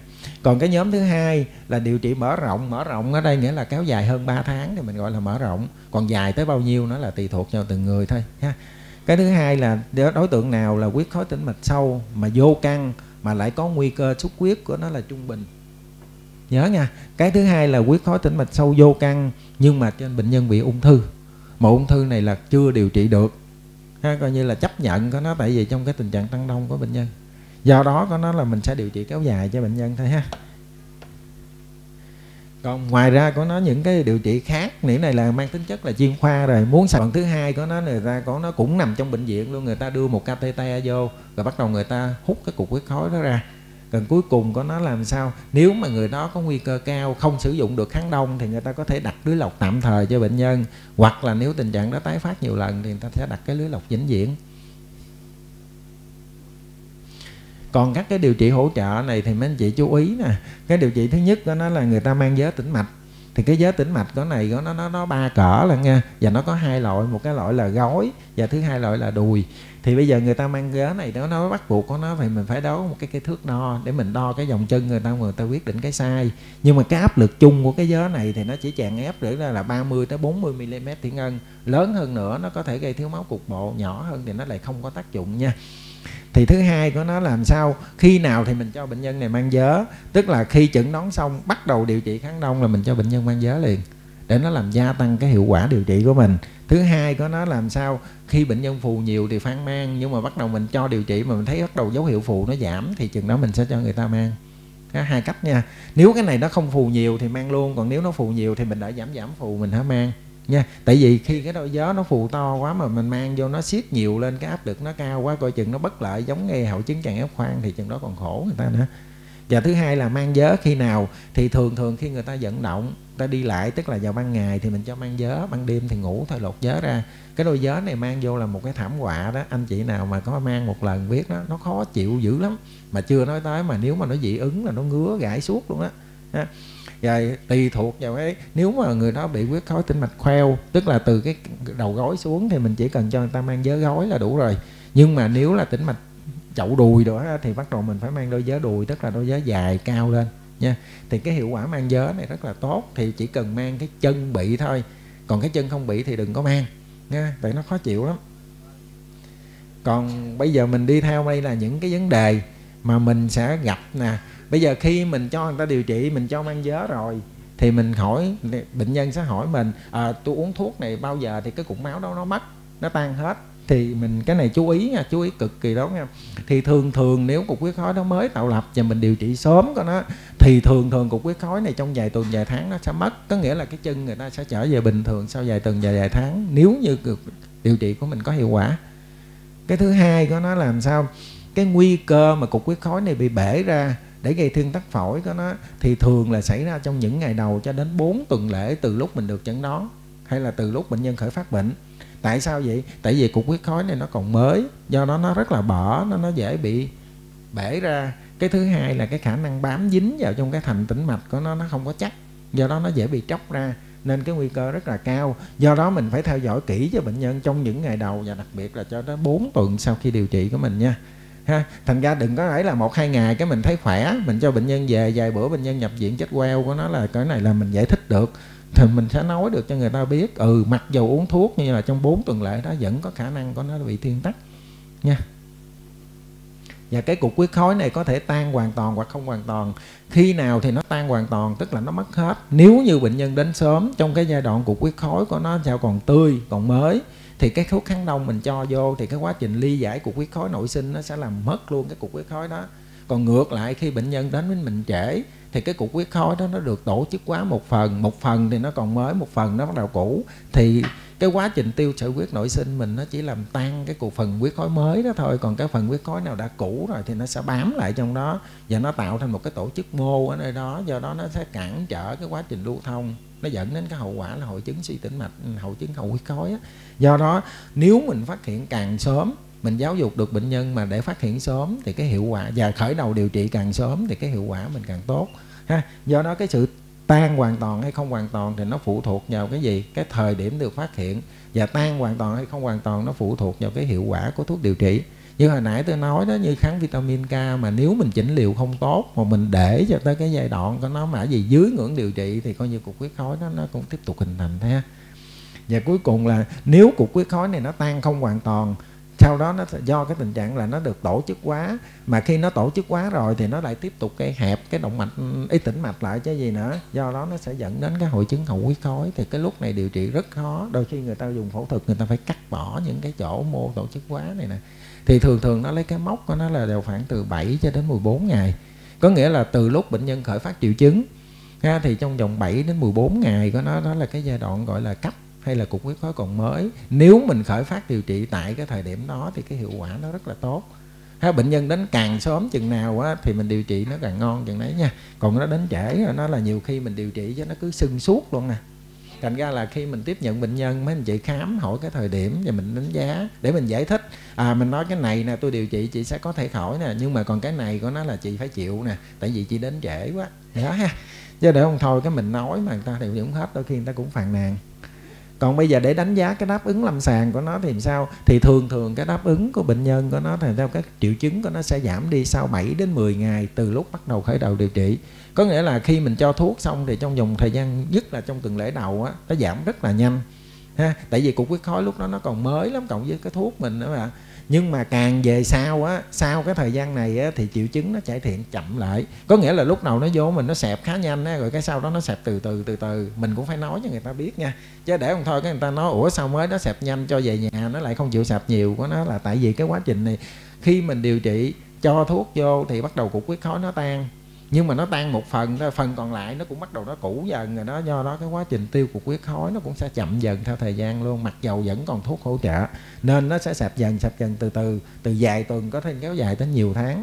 Một số trường hợp của nó là nó không cải thiện thêm. Có nghĩa là lúc mà mình cho thuốc nó xuống được tuần, hai tuần sau thấy nó xẹp rồi sau đó nó cứ ì đó hoài luôn. Thì cái khi nó ì đó hoài, điều đó có nghĩa là cục huyết khối còn lại nó đã tổ chức quá rồi nhưng thuốc kháng đông mình vẫn phải dùng. Dùng để làm gì? Để nó ngăn ngừa cục huyết khối mới, nha. Còn bây giờ cái nữa, làm sao một người bị huyết khối tĩnh mạch sâu như gì thì bây giờ người ta sẽ hỏi mình cách sinh hoạt trong hàng ngày của người ta như thế nào? Thì cái này mấy anh chị chú ý một chút. Cái thứ nhất là mình có thể cho bệnh nhân đi đứng bình thường, đừng có chạy nhảy nhiều thôi. Và thứ hai là người ta có thể làm được những cái công việc hàng ngày của người ta chứ không phải bắt người ta không làm gì hết là không đúng. Chính cái vận động của người ta nó sẽ làm cho gì? Các cái cơ nó co, mà khi các cái cơ co nó sẽ tạo một cái áp lực cho tĩnh mạch, do đó nó sẽ giúp cho cái gì? Chương lực tĩnh mạch tăng lên. Nó ngăn ngừa được cái hội chứng hậu huyết khối cho bệnh nhân. Cái thứ hai của nó là trong cái giai đoạn mà nếu mà bệnh nhân bị sưng nhiều quá và còn đang đau thì tốt nhất của nó là mình nên cho bệnh nhân nghỉ ngơi ha và khi nằm thì kê cái chân cao lên. Tại vì sưng nhiều đi đứng nó khó mà khi đi nhiều nó sẽ sưng nhiều hơn nữa. Để nó làm cho bệnh nhân đau. Nên cái trong giai đoạn này thì nên cho nghỉ ngơi và yêu cầu người ta kê cái chân của người ta mà bị huyết khối đó, kê cao lên. Còn các cái hoạt động thể thao thì nên hạn chế. Trong vòng của nó là 10 đến 14 ngày. Tức là khi mình chẩn đoán không thì trong vòng khoảng 10 14 ngày, tức là trung bình khoảng 2 tuần để không cho người ta vận động thể thao tại sao vậy? Tại vì trong cái giai đoạn này cục huyết khối nó còn mới, nó bở. Mà khi với một cái vận động thể lực nặng như vậy thì nó tạo điều kiện cho cục huyết khối bong chóc ra lắm. Do đó cái biến chứng thiên tắc phổi nó sẽ tăng cao lên. Còn bệnh nhân mà có thể làm được những cái vấn chuyện gì, thứ nhất là người ta nếu tập thể dục thì người ta có nói là bị huyết khối ở chân thì tay tay người ta tập thoải mái, đừng tập chân thôi. Ha. Còn ngược lại, nếu mà người ta bị ở tay thì có thể vận động chân được, chứ không nhất thiết bắt người ta im re luôn và cuối cùng của nó làm sao? Trong cái giai đoạn mà bị huyết khối tĩnh mạch sâu là không được đi máy bay. Tại vì đi máy bay là mình bất động nhiều, chứ gì ngồi nhiều mà thành ra lúc đó nó lại tạo điều kiện cho cục huyết khối đó nó lan rộng, nha. Do đó là mình tránh đi máy bay, rồi sau một vài tuần lễ đầu tiên của nó thì làm sao? Là mình có thể cho bệnh nhân sinh hoạt bình thường, nha thì cái đó là những cái phần mà tôi có thể chia sẻ được với mấy anh chị ở trong về mặt lý thuyết cũng như là những kinh nghiệm lâm sàng mà đã gặp ở tại bệnh viện chợ rẫy. Xin cảm ơn quý anh chị.